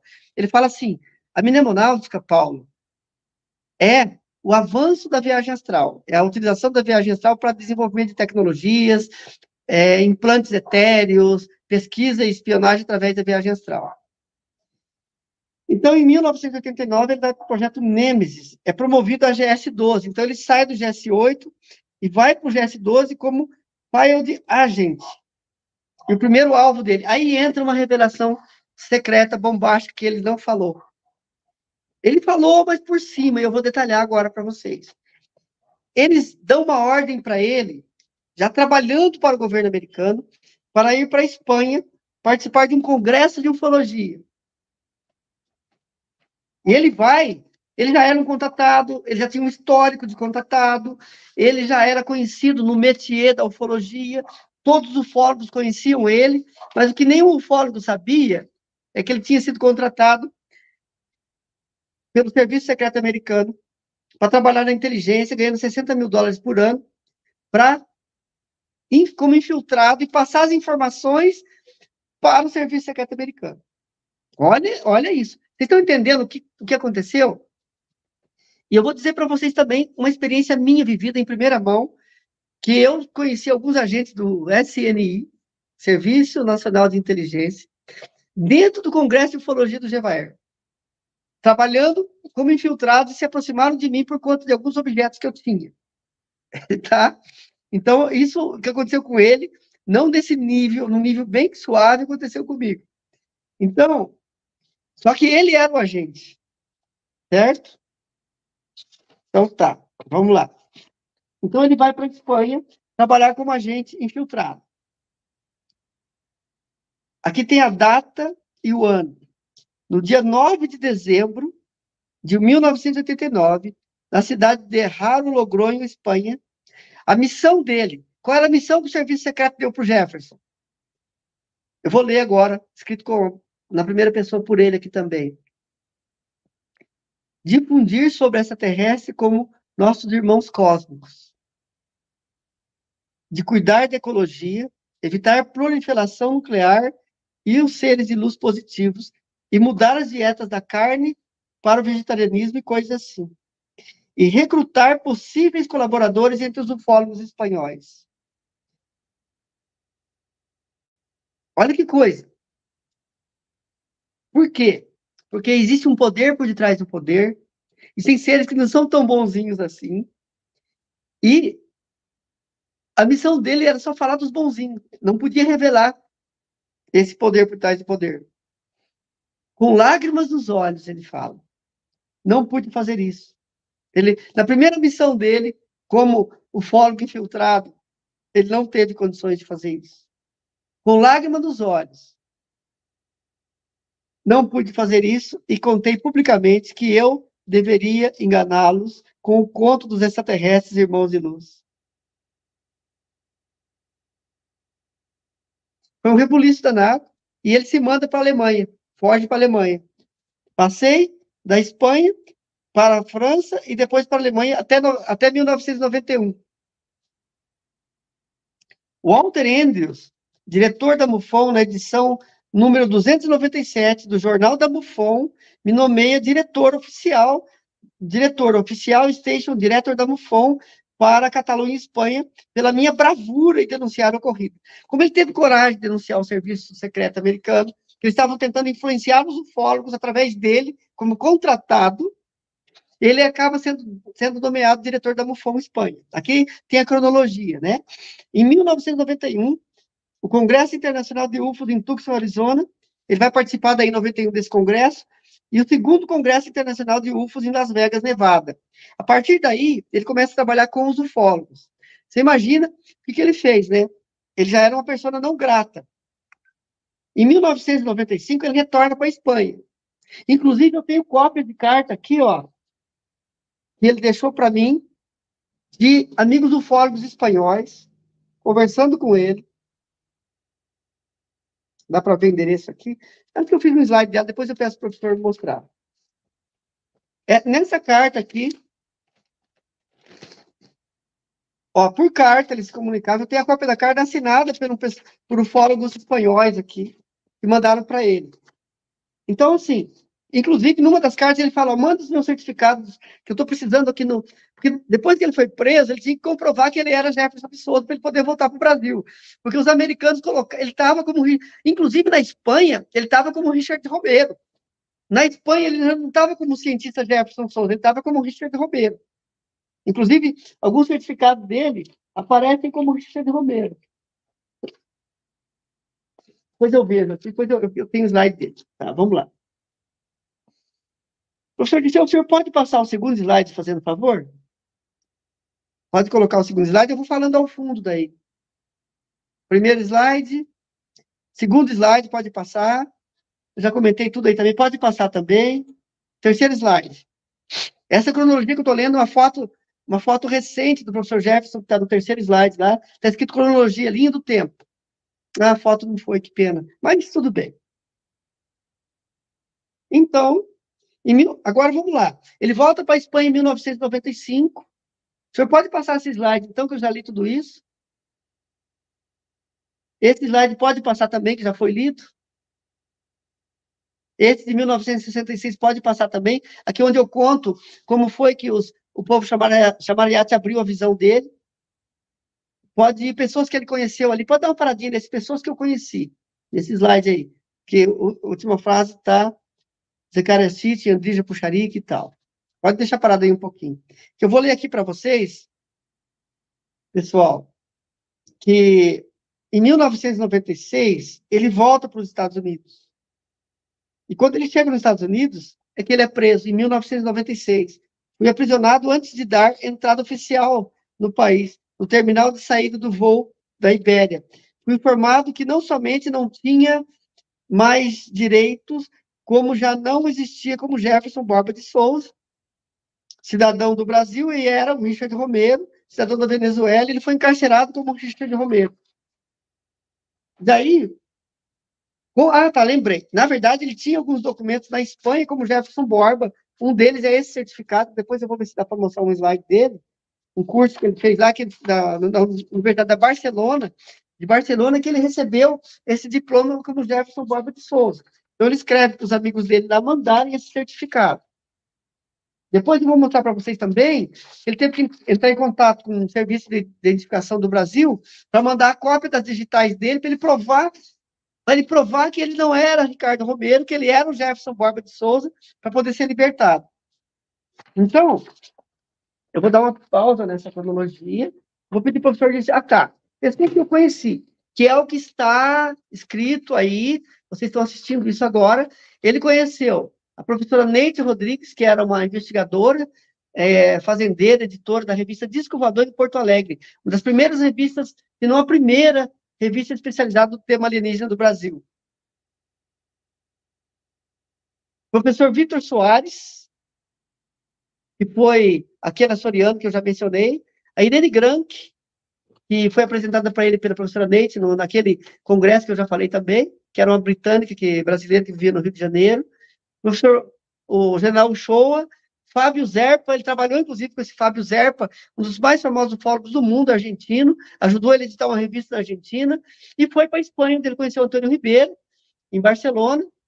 Depois conheceu Jacques Vallée na França, depois conheceu o, o Dr. Heineken, que fez o Blue Book, conheci ele no Congresso com a professora Leite no Brasil, e o Wendell Stevens, em Tucson, Arizona, conheceu o Zecaria em, em Manhattan, conheceu o Dr. Andrija Pucharik, num congresso em Chicago, Illinois, conheceu o Uri Geller, pode virar a próxima página, professor, conheceu o Bud Hopkins e sua filha, durante uma investigação de abdução presenciada pelo secretário-geral das Nações Unidas, ou seja, isso é um fato, é um caso ufológico famosíssimo, em que um secretário da ONU teve uma visualização e uma abdução, foi investigado pelo Bud Hopkins, e o professor Jefferson participou dessa investigação, conheceu o Al Billick, através do coronel Wendell Stevens, e o caso do Al Billick foi muito interessante, porque no caso do Al Billick, como ele participou do experimento de Filadélfia, eles também tentaram apagar a identidade do Al Billick, eles também criaram um nome falso, uma família falsa, uma história falsa para o Al Billick. Fizeram lavagem cerebral nele, inclusive, para ele esquecer. Ele tornou lembrar. E o professor Jefferson também tentaram fazer isso com ele, mas ele usou ajuda do povo chamariate, o monitor, e ele conseguiu se lembrar. Enfim, ele foi recrutado não oficialmente, não oficialmente pelo US Department of Defense, através de agentes do DARPA, Defense Advanced Research Project Agency em Warrenton, Virgínia, e da NSA, National Security Agency. Isso ele falava em todas as lives, ele contou essa história do Blue Planet, do Pulsar Project e do Projeto Nemesis. Por que que ele foi, por que que eles criaram essa acusação e por que eles prenderam? porque ele foi no Congresso de Tucson, Arizona, e denunciou que eles pediram para ele é, disseminar certas informações falsas ou incompletas entre os ufólogos? Não. Eles prenderam ele porque ele denunciou o uso de experimentação humana de imigrantes ilegais nos Estados Unidos. Então, eles pegavam os imigrantes ilegais, faziam experiências genéticas com ele. Então, por conta disso, ele perdeu nome, identidade, família, o passado. Ele fala, ele fala assim, na primeira pessoa, perdi o meu nome, minha identidade, minha família e o meu passado. Fui preso, torturado a ponto de usar cadeira de rodas, destituído de tudo que eu tinha. Não morri porque aqueles, porque eles não queriam fazer de mim um Marte, preferiram fazer coisas piores que a morte. Graças aos amigos leais do Departamento de Defesa americano e forças que mais, mais que humanas, eu sobrevivi a ponto de retornar vivo ao Brasil em 2019. E tem muito mais que contar mas a gente iria falar de horas ou dias. Então, a história dele é muito longa. Agora eu já começo a pedir para o professor Disseu passar um slide e direto no slide da cópia do certificado dele, da Barcelona. Passa um, dois e vai para o próximo slide. Esse slide, ao lado desse, dessa, da cópia do diploma dele da Universidade da Barcelona, em que ele foi reconhecido como doutor, como mestre em ciências da da informática, então, está lá em Jefferson Borba de Souza. Esse foi um dos documentos utilizados para no processo de defesa dele. Inclusive, eu, eu tenho a cópia do processo dele. Não consta nenhuma acusação por é, falsidade ideológica.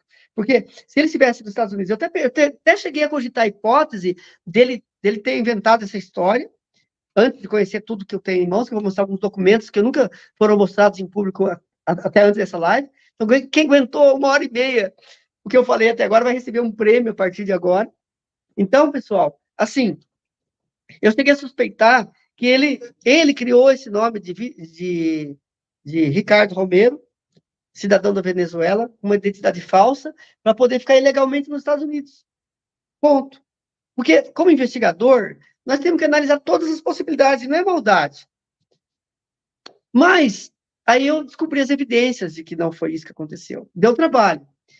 Então, vou mostrar agora para vocês. Inclu uma das evidências é que, no processo dele, ele é acusado como Richard Romero. E ele paga a pena como Richard Romero. Mas para voltar para o Brasil, ele teve que provar que ele era o Jefferson Borba de Souza. E ele não, não teve nenhuma pena, nenhuma acusação como por estar ilegal nos Estados Unidos usando o nome falso. Ok? Então vamos professor, lá. Vamos... Pois não, pode comentar, professor Disseu. Então, só fazendo um comentário aí sobre este diploma, né, está em, escrito aí espanhol. espanhol, né? Então quer dizer o seguinte: Universidade de Barcelona. Aí ele diz ali: os conselheiros do Instituto, por proposta do corpo docente, conferiram o grau de bacharel em Ciências da Computação com especialização para Jefferson Borba de Souza, né? É, em virtude do cumprimento exemplar de todos os requisitos estabelecidos para um acordo conjunto com todos os direitos e prerrogativas correspondente. Barcelona, 13 de junho de 1986. E aí tem a assinatura aí do, das, dos, das pessoas aí que estão relacionadas. É, deixa eu ver aqui se eu consigo ler aqui presidente, de, presidente da universidade, não dá para gente, é Joseph L.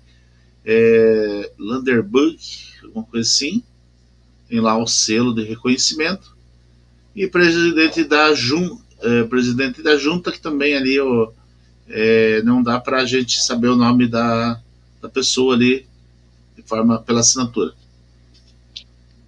Esse Joseph, da Universidade de Barcelona, era, era conhecido dele. Inclusive, ele foram, foi, foi, ele foi outorgado esse certificado, ele foi reconhecido porque ele cumpriu todos os requisitos.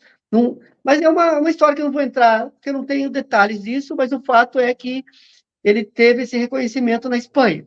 Do lado esquerdo, vocês estão vendo aí uma escrita alienígena. Observem que no meio das coisas do professor Jefferson, você, tem, você vai achar esse tipo de coisa. É algo impactante, né? Você pode passar para o próximo slide, professor Disseu? Inclusive aí, se alguém entender qual é o significado dessa, dessa linguagem aí, pode, pode nos informar. pode nos informar que isso vai ser útil para a gente, talvez seja uma mensagem que esteja escondida aí. Bom, eu vou passar meio rápido. São alguns documentos que ele deixou comigo. Eu tenho os originais desses documentos. Essa é a autorização para ele sair da prisão. Tá? Com a digital dele ali, tem a data, tudo, 2019. Do lado direito, um e-mail que ele mandou para a família dele explicando que ele estava vivo. Porque ele, ele ficou tantos anos fora, né? Então, esse e-mail foi imprimido, eu tenho a cópia do e-mail também. Ele, ele falou, não, eu estive preso, contando toda a história, eu tenho a cópia aqui. Mas vamos passar para o próximo slide. É, esse é o último. Ah, tá, eu não, ah, eu não mandei tudo. Ah, eu mandei pelo WhatsApp. Mas no WhatsApp, se o senhor tiver como compartilhar, eu agradeço. Só aquela cópia das digitais dele, onde ele, é, toda que eu mandei toda a documentação para o professor Disseu no WhatsApp, é, para mostrar para vocês o seguinte: ele teve que comprovar que ele era Jefferson Borba de Souza. Então, eu tenho cópia aqui das digitais dele e de um certificado do Departamento de Identificação de Porto Alegre. Eu tenho também uma carta do vice-cônsul dos Estados Unidos falando que foi visitar ele no hospital e ele estava paraplégico. Ou seja, em determinado momento, o professor Jefferson estava paraplégico. Então, comprovando que não é uma historinha. Se der para mostrar, o professor disse, eu mostro. Se não der, eu vou falando enquanto isso, vou fazer alguns comentários para vocês aí. Certo? Vai ser legal se der para mostrar isso para vocês. Então, pessoal, agora é o momento. Eu vi que o Carlos Barbosa ele comentou que essas informações poderiam revolucionar a história da ufologia se fossem levadas a sério. Daria um filme da vida real, também comentou a, a Mari Valério. Então, pessoal, realmente é algo tão bombástico, tão incrível, que dá para fazer um filme, porque e tudo, e tudo isso com documentos. Ele deixou os documentos. Eu tenho o diário dele, a agenda dele, e tenho esses documentos pessoais dele, que no falecimento eu fui com a Alissa, e com uma, uma advogada amiga nossa de Maringá, doutora Alba Legnani, para poder tratar dos assuntos do velório dele e recolhemos documentos pessoais dele. Então, esses documentos pessoais, eu mandei até umas cópias, umas cópias pelo WhatsApp, não sei se a gente vai mostrar. Mas então, o resumo da ópera é o seguinte, pessoal. Nós estamos com uma hora e meia de live. Ponto número um. O professor Jefferson tem toda a documentação da identidade falsa que eles criaram para ele como Richard Romero. Ele não foi, eu tenho cópia do processo também, ele não foi preso por isso.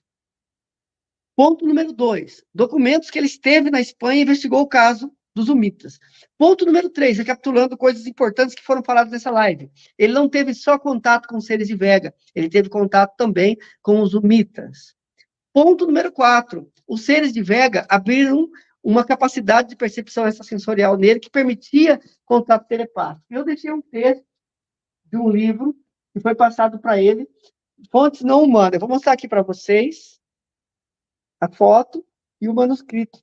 É uma fichinha em formato hexagonal, onde ele fala assim, que o professor Jefferson canalizou. Sou Saad Olep, cronista e analista designado do setor de Jareb, no qual se encontra o sistema Sol. Sadar Olep pertence à espécie de metamamíferos humanoides bípedes da civilização conhecida como Bankhara, também chamado de povo Shaula, originária da constelação Scorpions, a ilha da Lambda Scorpio, situada aproximadamente a 570 anos-luz de Jareb, onde está o sistema solar humano. Aí ele vai falar dele.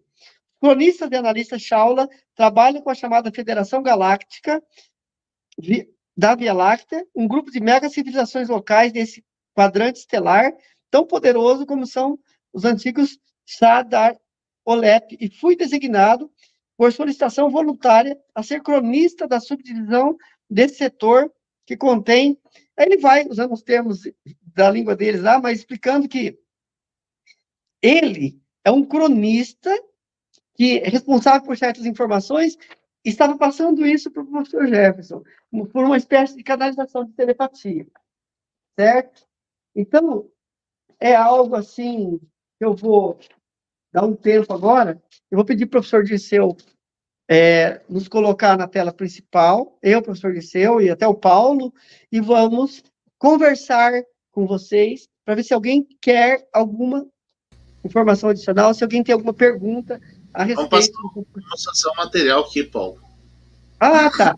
É, eu ia até deixar para fora esse material. Se o senhor conseguir compartilhar, vai ser ótimo, porque nós prometemos que iríamos mostrar alguns documentos. A foto, o professor Jefferson chegou. Essa é uma foto mais recente dele. E é o seguinte: eu quero mostrar para vocês que o governo americano, o serviço de inteligência americano, para trazê-lo de volta, teve que ir atrás de um sósia. Vou mostrar para vocês o sósia. Para mostrar que realmente teve todo um trabalho. Esse é o sósia dele. Então, como eles tinham que transportar ele de volta para o Brasil, assim que ele foi liberado, em segredo, porque eles tinham criado uma identidade falsa. Inclusive, olha a carteira de identidade dele sem assinatura. Com a foto falsa. A data aqui, ó. A data, 18 de setembro de 2019. Polícia Federal do Brasil carimbou e deixou ele entrar. Rola para cima um pouquinho, professor, que eu quero mostrar. Lá na, aí não tem assinatura. Olha a assinatura aí, ó. Assinatura dele, Jefferson, República Federativa do Brasil. Jefferson Souza. Agora, vamos para a próxima foto. Eu vou fazer alguns comentários rápidos para dizer para vocês que ele deixou toda a documentação. Atlanta. O professor disse, como bom pesquisador, ele já amplia, já... isso é muito legal, que o pessoal pode ver ao Consulado Geral do Brasil em Atlanta. 14 de novembro de 2014. Vice-consulês Carlos José Bezerra Moreira. Foi esse vice-consul aí que foi visitar o Jefferson como tetraplégico no hospital, se não me engano, tá? Foi um vice-consul, não lembro se foi esse, mas foi um vice-consul do Brasil lá. Ó, aqui é uma informação importante. O titular deverá, dentro de 30 dias após a sua entrada no Brasil, regularizar sua situação perante a justiça. O, título, o titular tem ordem judicial norte-americana que o impede de abandonar os Estados Unidos até 11 de março de 2020. Ah, para um pouquinho. Aí que tá, ó. E ele vem em 2019. Pode continuar. É... Tá. 3 de 11 de 2020. Tem uma informação em inglês.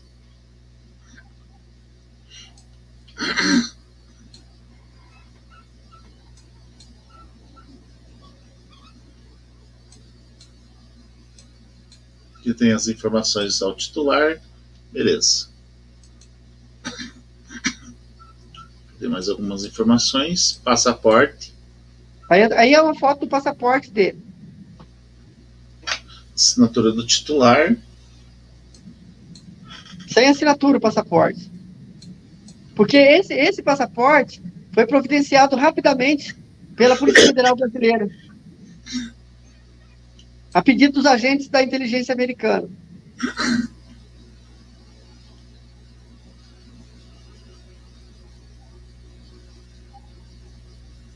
A foto dele aí. Essa foto aí provavelmente é um plágio. é uma sósia. Bem antiga.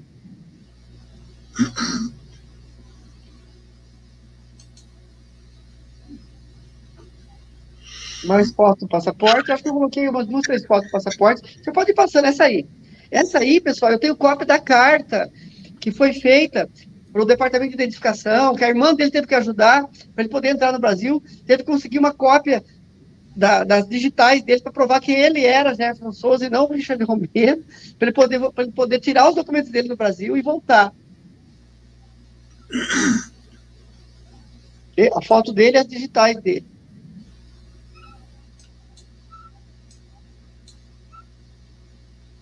Rio Grande do Sul, em atenção ao ofício.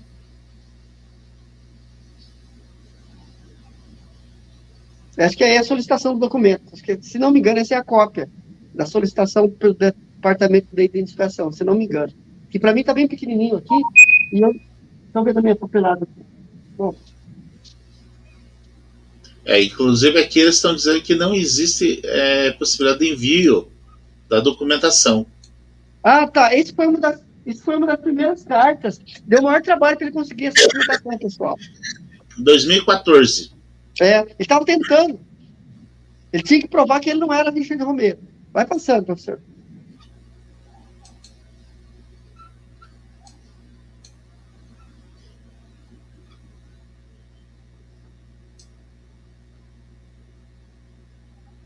Essa é assinada pela, pela irmã dele, se não me engano, que ajudou a enviar a documentação. Aí que eu pude comprovar que ele não era o Richard Romero, ou, uma pessoa entrante fazendo passar pelo Jefferson.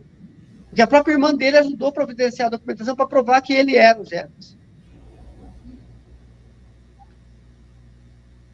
Pode passar. Aqui embaixo aqui, ó, afirma que todos os fatos aqui narrados são verdadeiros é, declaração de. Acho que é isso aí, professor. Acho uhum. não tem mais. Tá. Não tem uma foto. Ah, tá, tá bom. Eu acho que alguns, alguns documentos que eu consegui fotografar e mandar pelo professor Disseu rapidamente pelo WhatsApp aí. Mas é isso. Eu quero saber se tem alguma pergunta, algum comentário, se o pessoal tá, quer comentar alguma coisa, e nós vamos para o encerramento.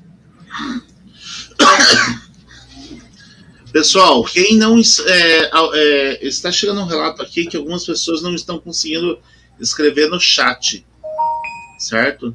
Então podem mandar aqui, vocês têm o número do WhatsApp do contato aí da, da live, né? É, então podem mandar para mim aqui a informação. Perfeito? Tem alguém então, pedindo, professor, se o senhor conseguisse colocar de novo na, na a imagem daquelas escritas estranhas lá que alguém quer dar uma olhadinha mais uma vez aí. Estão pedindo aqui os caras. Beleza. Paulo, uma pergunta. Já vi aqui. Sim. Deixa eu fazer uma pergunta, Paulo. Sim.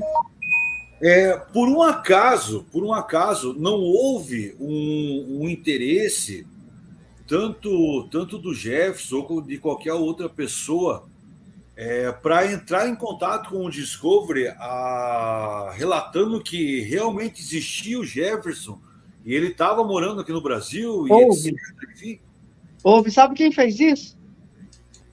Ah. Mi persona. E qual foi a resposta, Paulo? Eu tenho contato com o correspondente deles no Brasil por e-mail, tenho a cópia dos e-mails, tudo.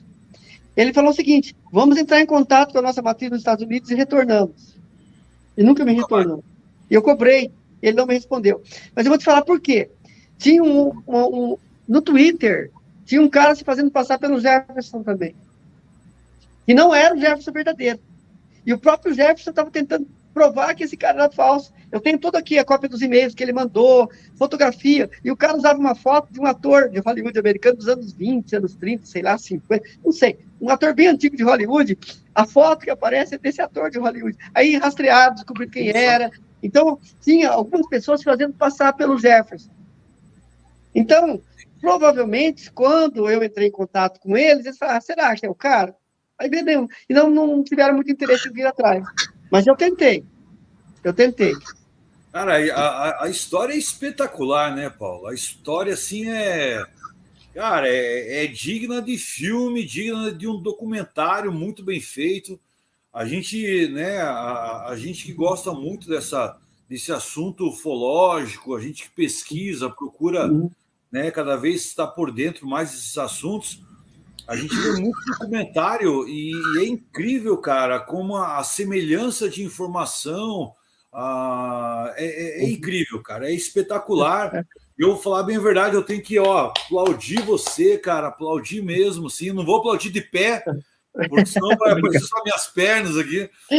Mas assim, é, cara, é espetacular. Eu acho que eu acho que essa esse programa aí que o que o Dirceu criou não poderia começar num nível tão alto, não, seria impossível começar num nível tão alto como o nível que aconteceu hoje, cara.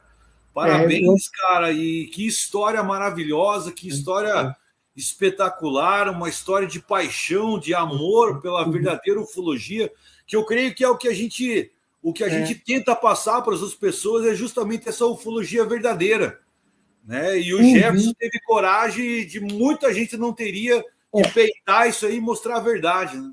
É, ele perdeu um emprego bom, que eles contrataram ele para fazer desinformação. Ele colocou o pescoço dele em risco por duas vezes. A primeira vez passou batida, ele se mandou para a Espanha, é, Alemanha, França.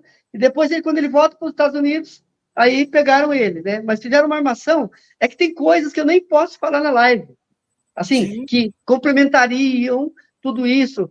Teve uma organização de uma famosa eu não posso nem falar o nome. Mas, sabe, mas sabe que... Paulo, não, não, querendo, não querendo cortar você, mas só a informação que você já passou para a gente, cara, é, é, não tem como pensar uma outra coisa, não tem como imaginar que isso é mentira, que isso não é verdade. Não, uhum. não existe, cara. Não, não, não existe. Sabe? É, cara, que espetáculo, cara. Eu falo que honra estar tá hoje aqui nessa live e poder desfrutar dessa história que você contou, cara. Ah, não, a honra é nossa, porque estamos juntos nessa pesquisa na Escola de Mistérios, na ABEX, inclusive a Academia Brasileira de Estudos Exológicos, né? Nós, o que nós queremos fazer agora é transformar o legado do professor Jefferson, compartilhar o legado, porque tem informações que a gente quer compartilhar. E nós não compartilhamos ainda por questões legais, nós estamos acertando. Ele deixou por escrito um testamento, liberando para mim, para mais uma pessoa, é, os direitos autorais das obras escritas por ele. Mas eu quero compartilhar isso o mais rápido possível com o pessoal. já tenho até o pessoal digitando para mim, porque a maioria do material dele está por escrita à mão, assim, ó. Entendi. Não, só para você ter uma noção, ó. Esse trabalho, a primeira abdução alienígena documentada na América. uma pesquisa, fonte, fontes não humanas. Esse cronista, então, assim, como ele tinha ele tinha essa telepatia, ele tem, ele tem muitos trabalhos que a gente gostaria de estar compartilhando com o pessoal, né? Eu não, agora, o que a gente pode fazer é, futuramente, fazer algumas lives sobre um título. Por exemplo, gente tem um livro chamado Atales, Exíguo Manual de Conhecimentos Cósmicos. Então, a gente pode fazer uma live fazer um resumo, né? Então, uma frase dele aqui nesse livro, ó com mais respostas encontradas ainda. Quanto mais respostas são encontradas, mais perguntas se formam por causa delas. Jefferson Souza. E daí, ele coloca aqui uma, um desenho do monitor. Esse é um desenho do monitor. Deixa eu mostrar aqui para você. Ele era um grande ilustrador e desenhista também. Então, olha como o monitor se apresentou para ele aqui. Aqui, ó. Ó primeira mão para valorizar os que estão assistindo as lives da, da Escola de Mistérios. Ó. Nunca antes publicado. Vou ler para vocês. Saudações humanos. Eu não tenho uma designação própria. E o que a sua civilização diria como nome, entre os da minha espécie, nos reconhecemos por frequências harmônicas que podem individualizar-nos adentro de um coletivo de indivíduos. Mas no esforço de uma melhor compreensão sociocultural, me chamem de monitor. Daí ele escreveu um monitor bem grande aqui. Daí ele continua. Essa também não é a minha forma física. Aquele desenho que eu mostrei para vocês. Há muito tempo, meu povo ascendeu a níveis evolutivos que transcenderam a matéria física. Somos seres etéreos agora. Eu, eu escolhi um humano emissário das minhas palavras. Dele é o resultado desse trabalho apresentado aqui. Eu escolhi um humano emissário das minhas palavras. Esse humano emissário é o professor Jefferson, que cristalizou aqui essas palavras do monitor. Inclusive com palavras no idioma deles aqui, ó. Cara, que show, que show. então, é isso. A gente agradece, sabe, né? Sabe, Paulo, e, e assim, ó, é, o, o, o, uhum. você está sem som, Clema? Uhum. É, sabe, nós temos é, algumas é, as, pessoas, as, pessoas que, as pessoas que enxergam a gente na live, né, Paulo? Uhum. É, é, é, é, engraçado, às vezes eu queria, eu queria poder ter um gravador e, e mostrar como eu com o Clemba a gente discute, cara. que legal. Sabe? O, cara, tipo assim, ó, literalmente, o que a gente quebra pau, né, Clemba? Pois é. é. E assim, mas, mas sempre o nosso intuito é aquilo que o professor Jefferson fez, cara, de levar a verdade. Uhum. É, é, sabe, eu, eu, eu com o Clemba sempre está em trabalho de campo, até hoje, né? Como a gente estava tava conversando hoje, é, antes de abrir a, a, a, live, né? Ó, tô tudo queimado aqui, ó. Olha só. É, tô queimado do, do nosso trabalho de campo que a gente fez hoje.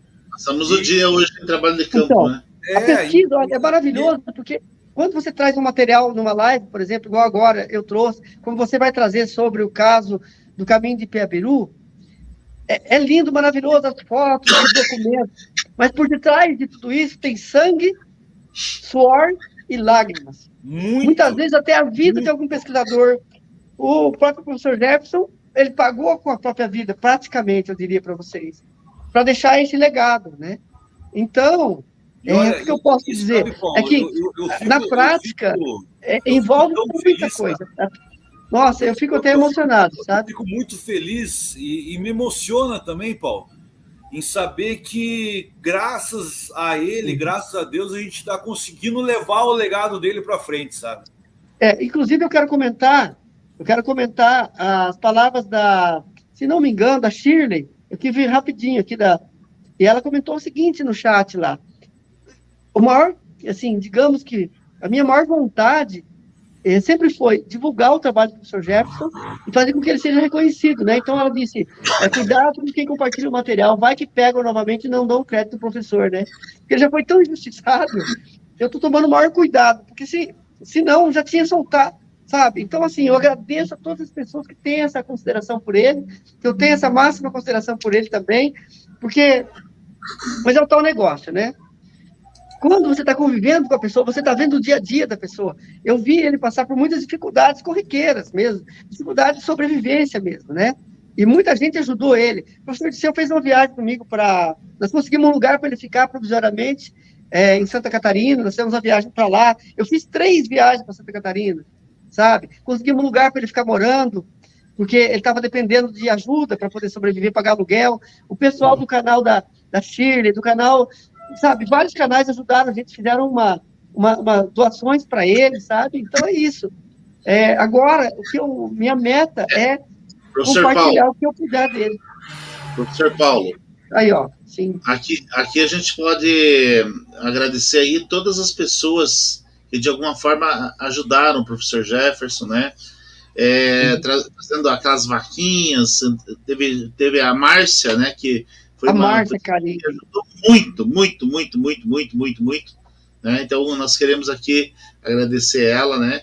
Cada um que ajudou de alguma forma, a Márcia, a Shirley, É, se a gente for citar nome aqui. É, pedir desculpas, porque às vezes a gente esquece alguém. Aquele senhor que veio de São Paulo trouxe uma cadeira de rodas para ele. Eu esqueço o nome dele, Jorge, se não me engano. Jorge também, né? É, Ó, bom, ele, ele saiu de São Paulo com cadeira de rodas no ônibus para trazer para o Jefferson nova. Então teve pessoas que ajudaram, trouxe uma coleção de revistinha para ele. É que a gente, eu peço, eu peço no ar desculpas para qualquer pessoa que nos ajudou, que eventualmente eu esqueço de falar tá, pessoal? Porque é muita gente, mas fica registrado aí. Se eu esquecer de alguém, perdão.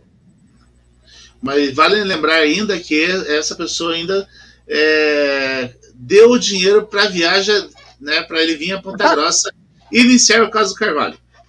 Ó, o professor disse, ele fez o seguinte: quando houve o caso do Carvalho, e a gente Calma. fazendo aquela, aquela administração da grana. Calma. Poxa, a gente sai daqui de Maringá para Ponta Grossa para investigar um caso que está começando agora. Será que a gente deve ir ou não? Ele doou o dinheiro para o professor Jefferson. O professor Jefferson falou assim: olha, ele ajudou a gente com a gasolina, vamos. Aí eu falei, vamos. Mas olha, aí, e o professor Jefferson sabe por que, que nós estamos indo? E ele de cadeira, assim, doentes, com dor. Sabe por que nós estamos indo, Paulo? Porque esse é um dos casos muito importantes da ufologia. Paulo, Paulo, então vamos voltar daqui a pouquinho a gente fala sobre esse tá. detalhe.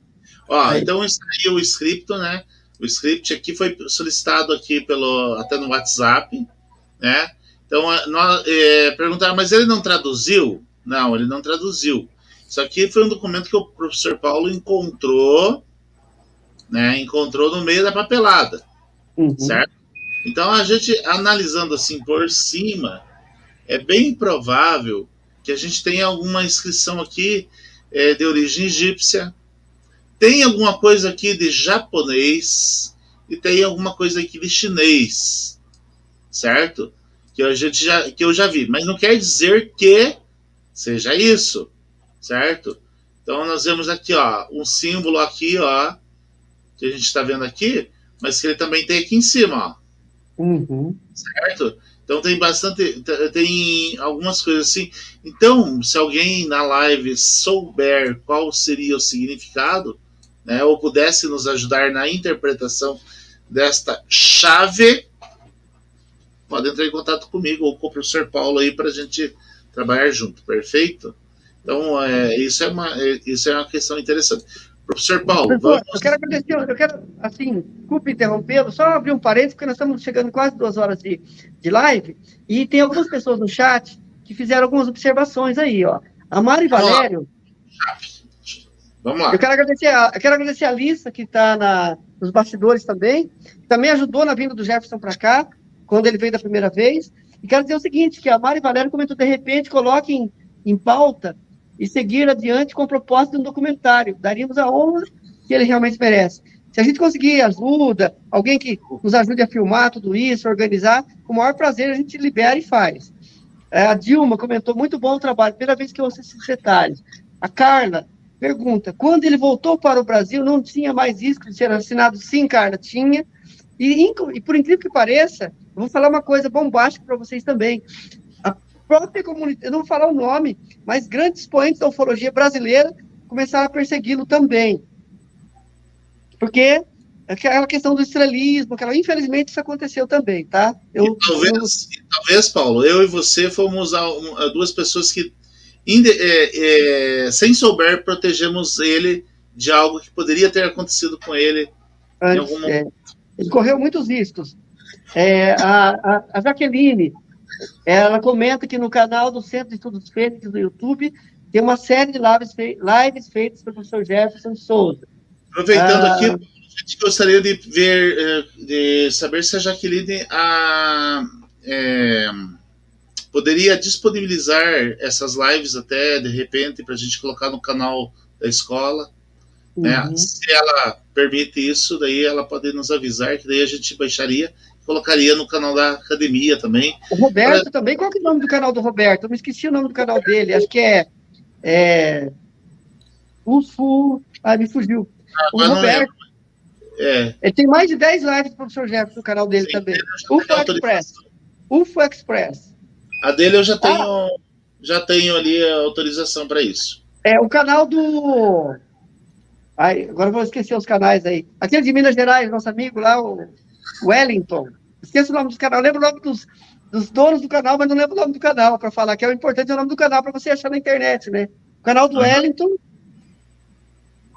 É, mas aí nós, a gente disponibilizando a live no canal, o pessoal vai saber uhum. onde está, porque daí a gente dá crédito. Mas procurem lá Jefferson de Souza, vocês vão achar bastante coisa nos diversos canais por aí.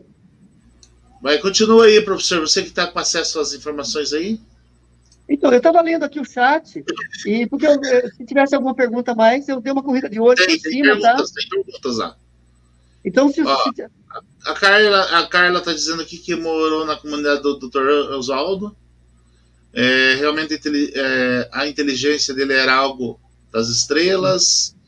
É, ele, é, a Shirley comenta aqui que eles eram um perigo para o sistema.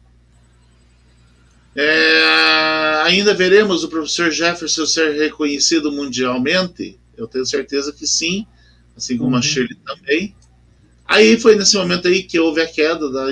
da, da uhum. Indo, né? Gente sem. Uhum. Pede desculpas aí, né? Mas às vezes acontece, né? É, deixa eu ver o que mais. Tomar mais cuidado. Pá, pá, pá, deixa eu ver aqui. Aqui na minha cidade, aí quando foi falado do, da Operação Pratos, foi escrito aqui pela Shirley, na minha cidade registrou mais de 20 OVNIs nessa noite. Eu fui contatada nessa data desse, com 7 anos de idade. Né? Legal. É... A Cláudia estava pedindo para que a Shirley conte para nós, depois do teu contato. Ó, Shirley, está convidado aí já, se quiser utilizar o espaço aqui do nosso canal, está aberto aí para que você possa contar essa, a sua história, tá? É, mais vamos ver lá. Tem umas perguntas bacanas aqui. É, o Carlos Barbosa fala que é muito raro essas interrupções. É isso que aconteceu com, com relação ao YouTube. Ah, essas informações poderiam revolucionar a história da humanidade se fossem levadas a sério. Então, a partir do momento que a gente é, tomou aí a, a decisão de trabalhar com o canal, a gente está trabalhando com seriedade. Né? Aliás, nós iniciamos com seriedade o canal para falar a verdade com responsabilidade. Ah, põe um, isso, tela. isso, né, Clema? Esse, esse é como eu estava comentando, esse é um dos motivos que a gente sempre a gente discute. E a gente discute muito mesmo, que é para justamente levar a verdade para a galera. Né? Uhum. Isso.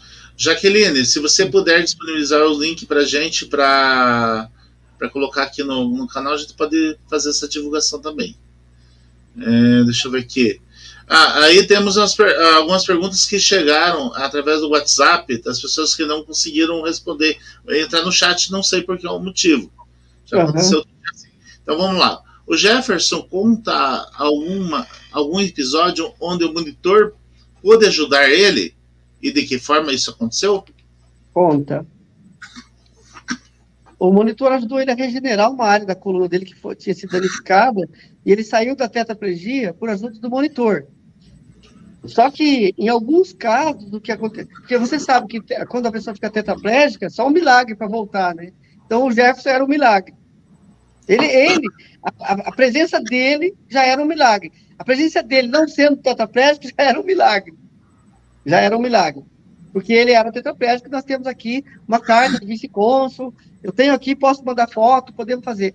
Então, assim, é outra coisa interessante, é que o monitor, muitas obras que foram escritas, como essa que eu mostrei agora, é um exemplo desse, em que o monitor se comunicou para ele e foi ditado pelo monitor as informações que ele queria compartilhar com a Terra. Uma das missões do Jefferson era isso, era compartilhar esse conhecimento com a humanidade. Uhum. É legal. É uma experiência que a gente viveu, né? Eu tive esse privilégio, né? Eu posso dizer aqui abertamente que isso uhum. foi um privilégio, né? Foi um contato que eu tive com o monitor ao lado do Jefferson quando fui visitá-lo.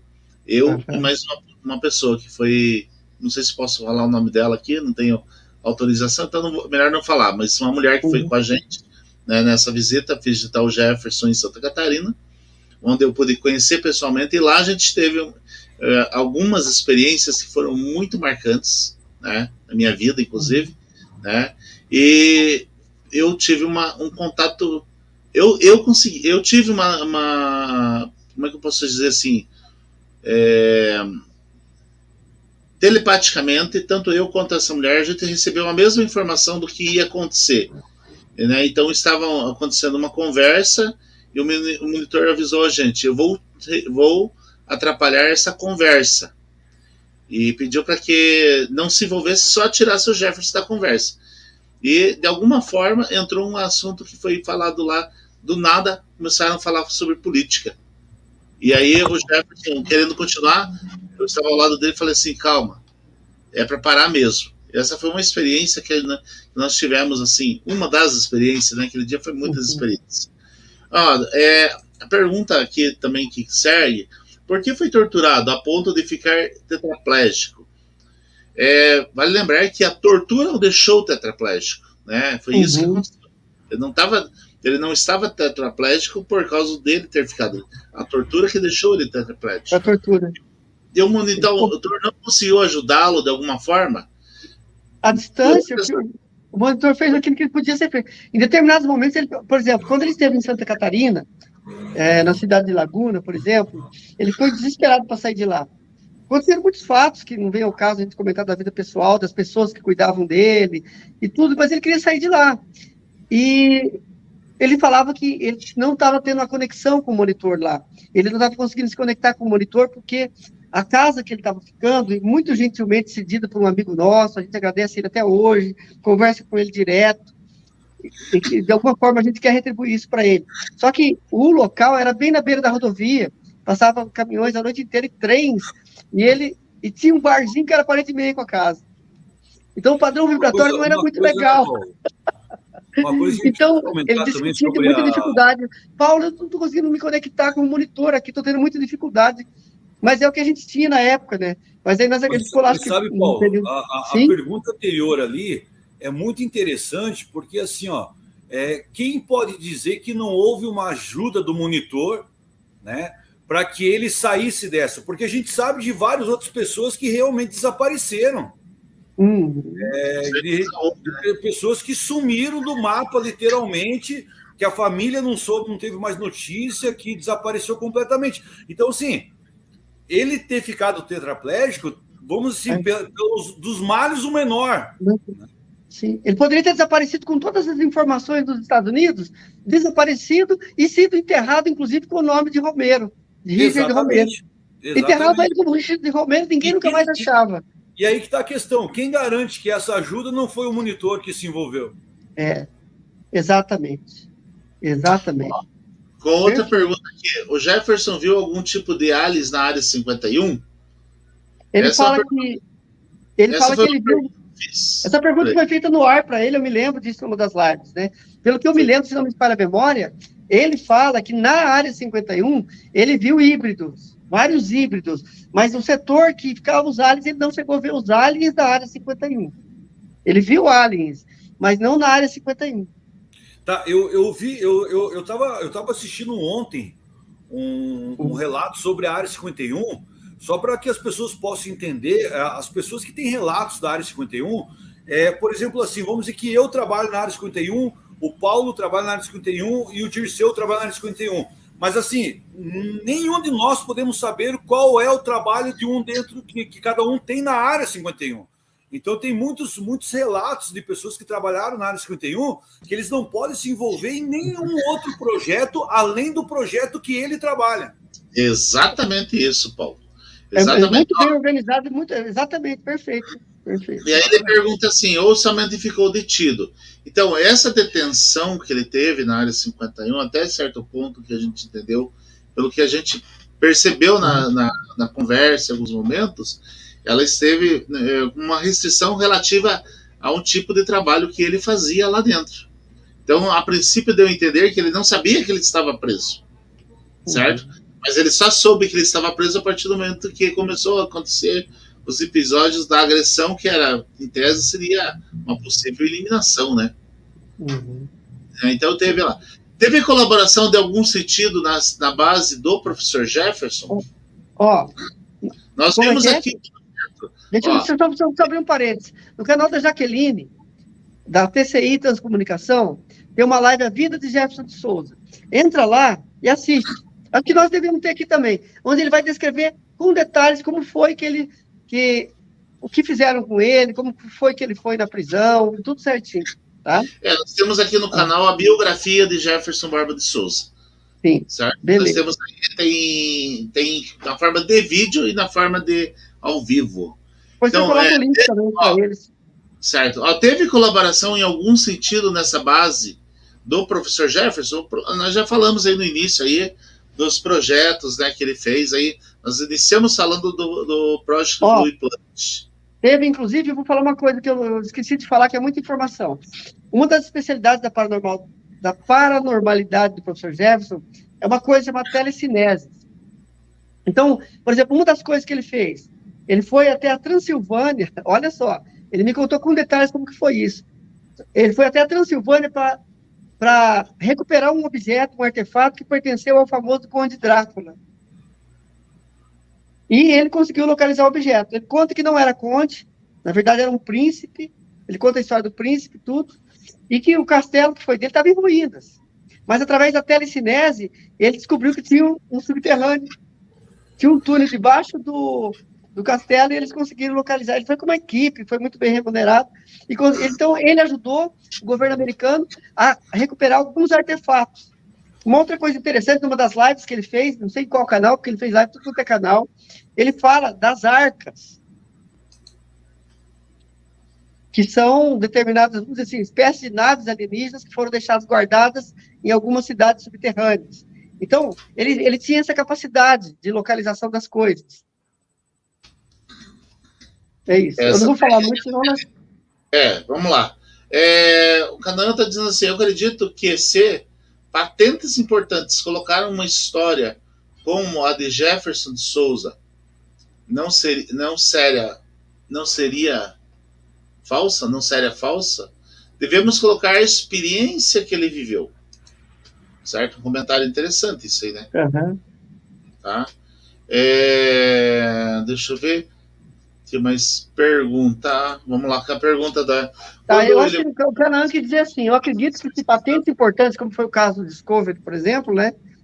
O Discovery não ia fazer um documentário em cima de um cara que não existe, né? Então, Jefferson Borba de Souza existe, ponto.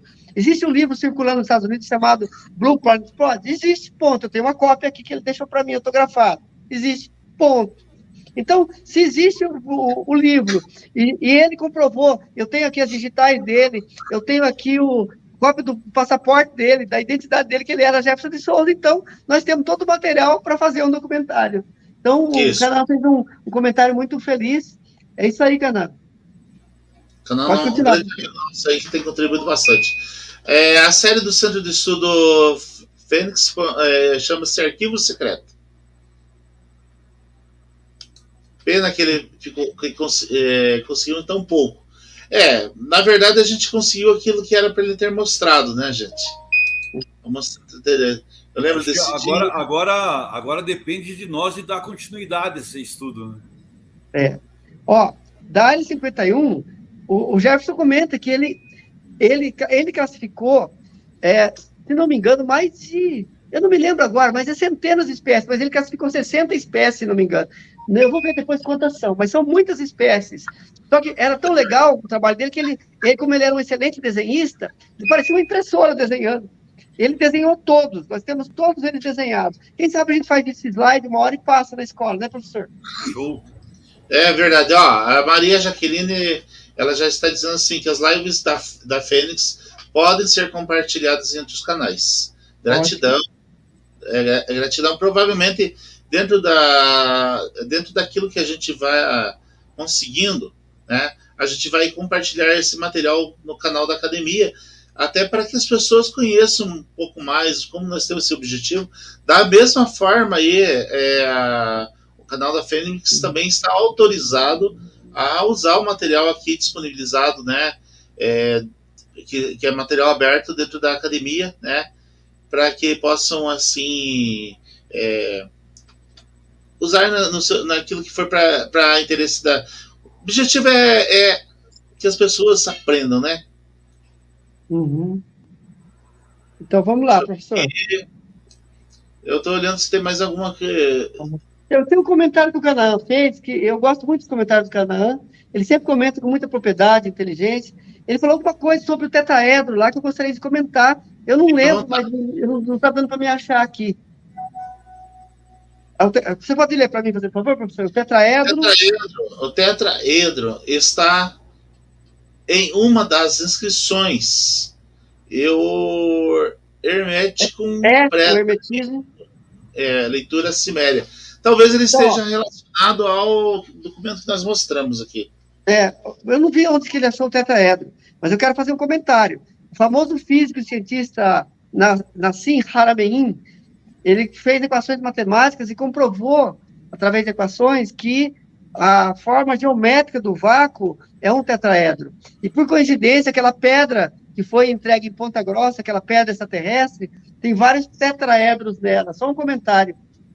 Exatamente. E a é, linguagem de Sumério tem muita coisa dos Anunnaki também, né? Então, é, pode até ser que essa ficha que nós temos aqui com inscrições tenha caracteres de várias civilizações. Talvez seja uma pedra de roseta para nós, ué. Vamos pesquisar, vamos embora. É, tanto, tanto que uma das, das linguagens que muitos ufólogos comentam da forma de contato, de forma de deixar uma mensagem é justamente numérica, né? Uhum. Numérica. Ah, mas o comentário aqui do Canaã, eu penso que não deveríamos indagar o, seu, é, o Sr. Jefferson, porém, um eu inter, um, interativo. Acredito eu que em final de evidência existe a razão, uma razão para que ele teve um crédito de organização importante. Uhum.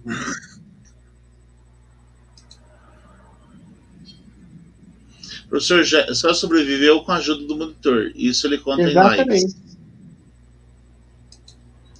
É, só o fato do professor não ter perdido as informações já foi uma grande ajuda e tanto do monitor.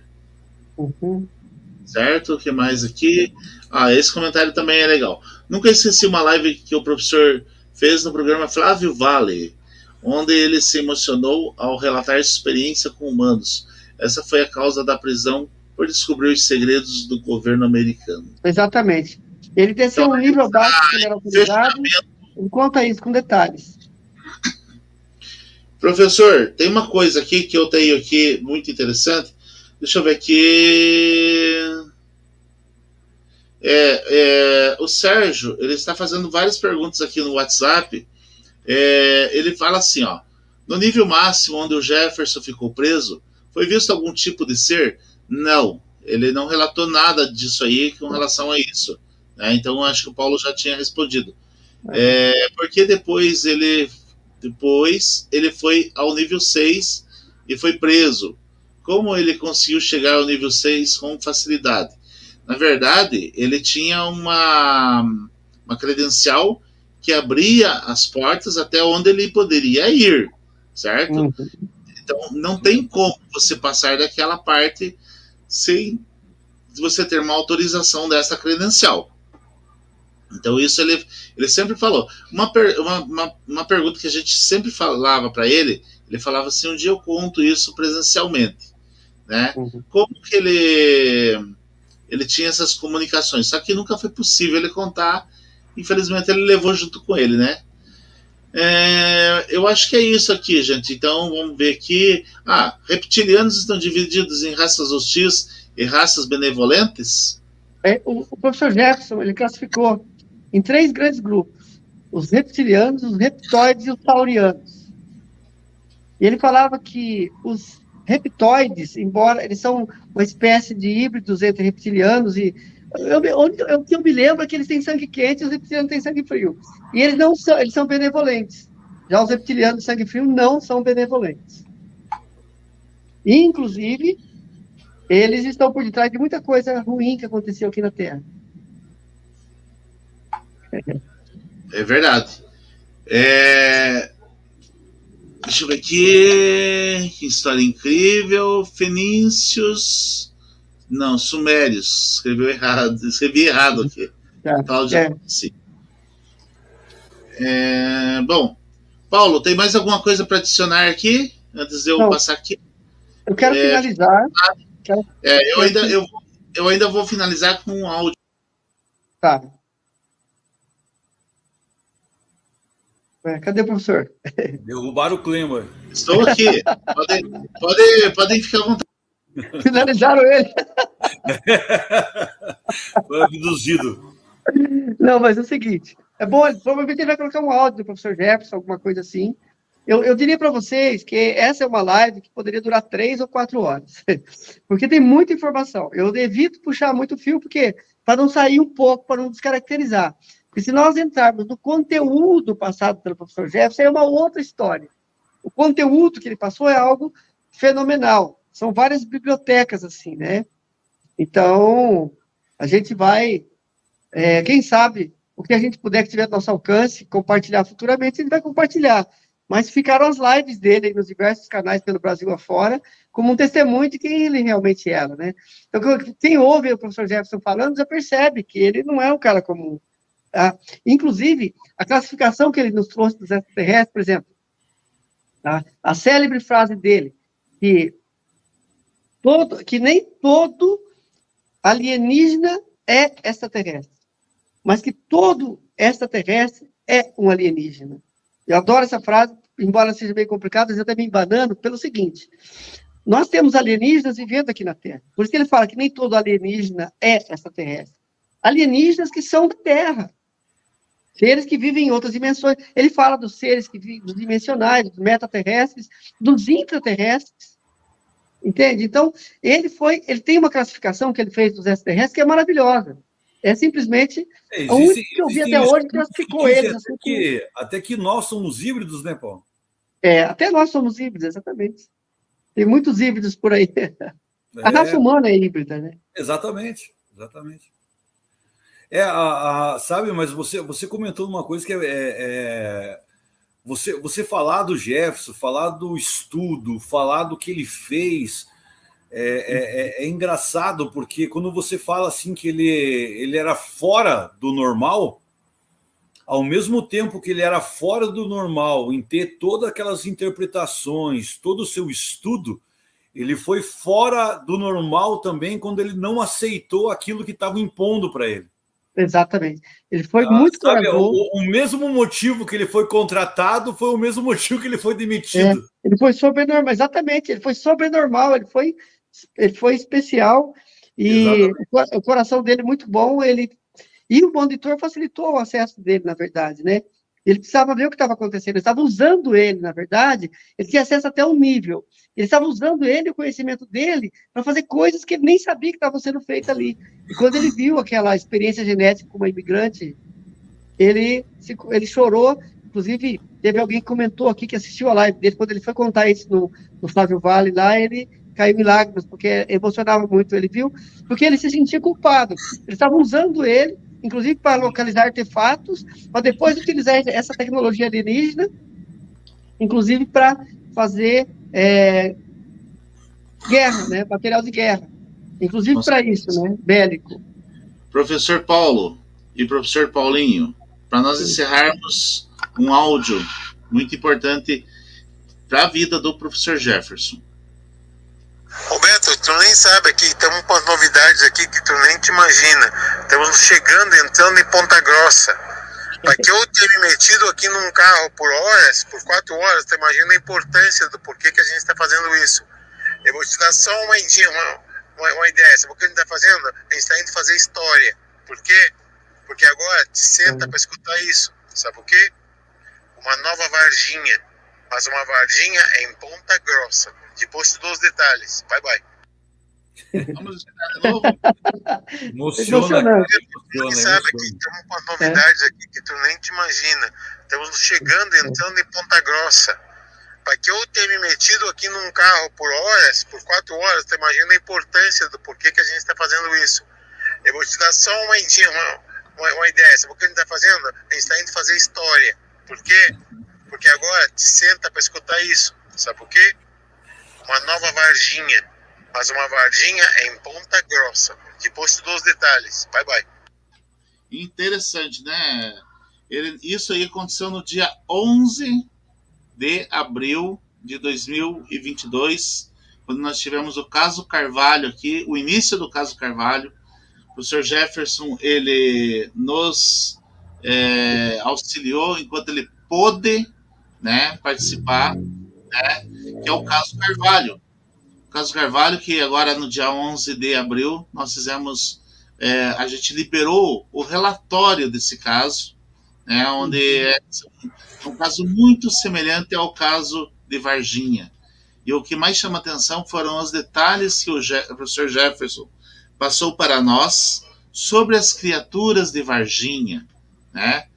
Esse aí são alguns dos desenhos do professor Jefferson, né? Que o Paulo está uhum. mostrando.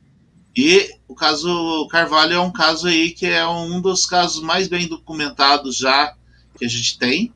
E a gente está fazendo isso com muita responsabilidade, com muito carinho.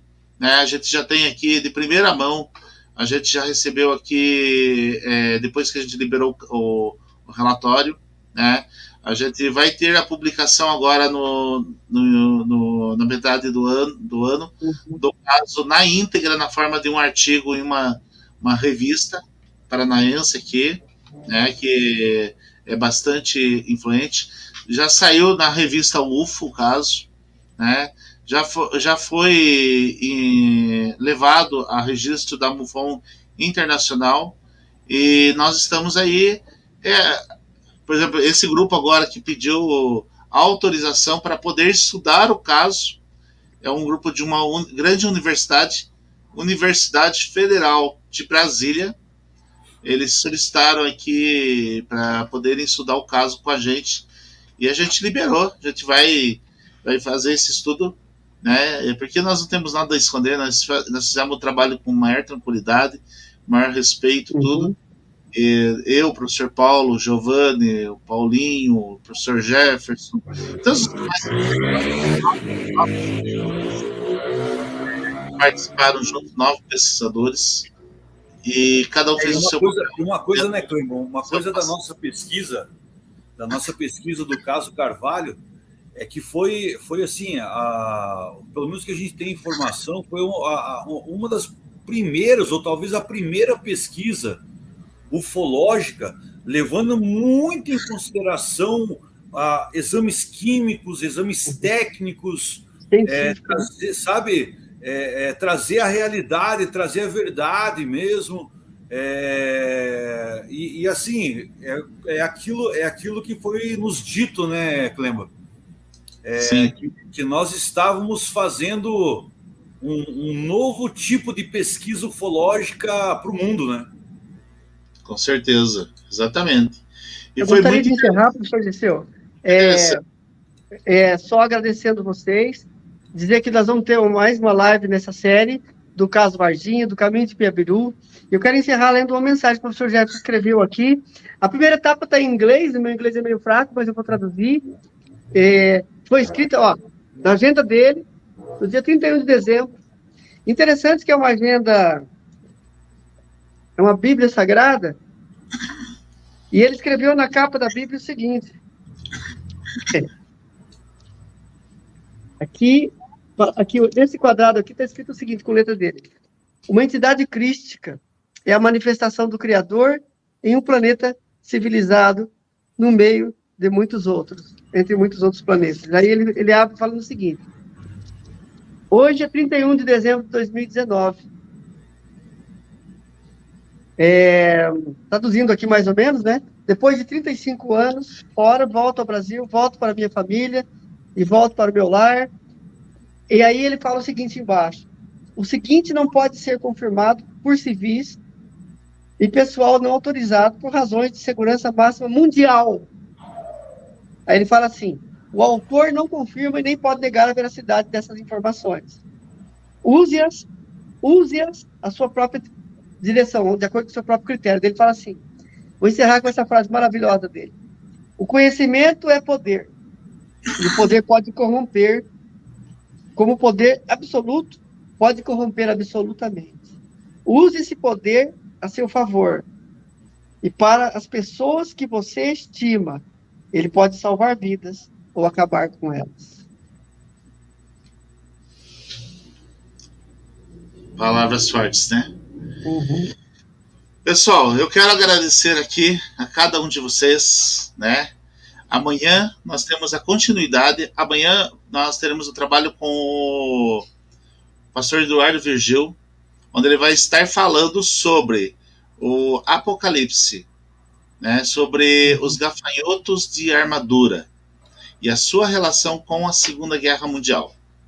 Certo? Vai ser um estudo bacana, um estudo muito interessante. Professor Paulo, amanhã também tem um compromisso no canal Reales 2, né, onde, uhum. se der tempo, a gente vai participar junto também, né? Sim. É, onde você vai estar falando lá, contando é, a história do professor Jefferson também lá. Né? Então isso vai ser muito interessante. Se der tempo, a gente vai participar junto, mas nós, nós temos amanhã o, o, o segundo dia do fórum. É, também as pessoas vão receber um link como receberam hoje para participar, porque é o link fechado. É, apesar que a live de amanhã vai ser aberta a todos. Né? Então vai ser aberta a todos, todos poderão participar. É, Quarta-feira, Paulo Henrique vai estar trazendo aí a questão do caminho do Peberu.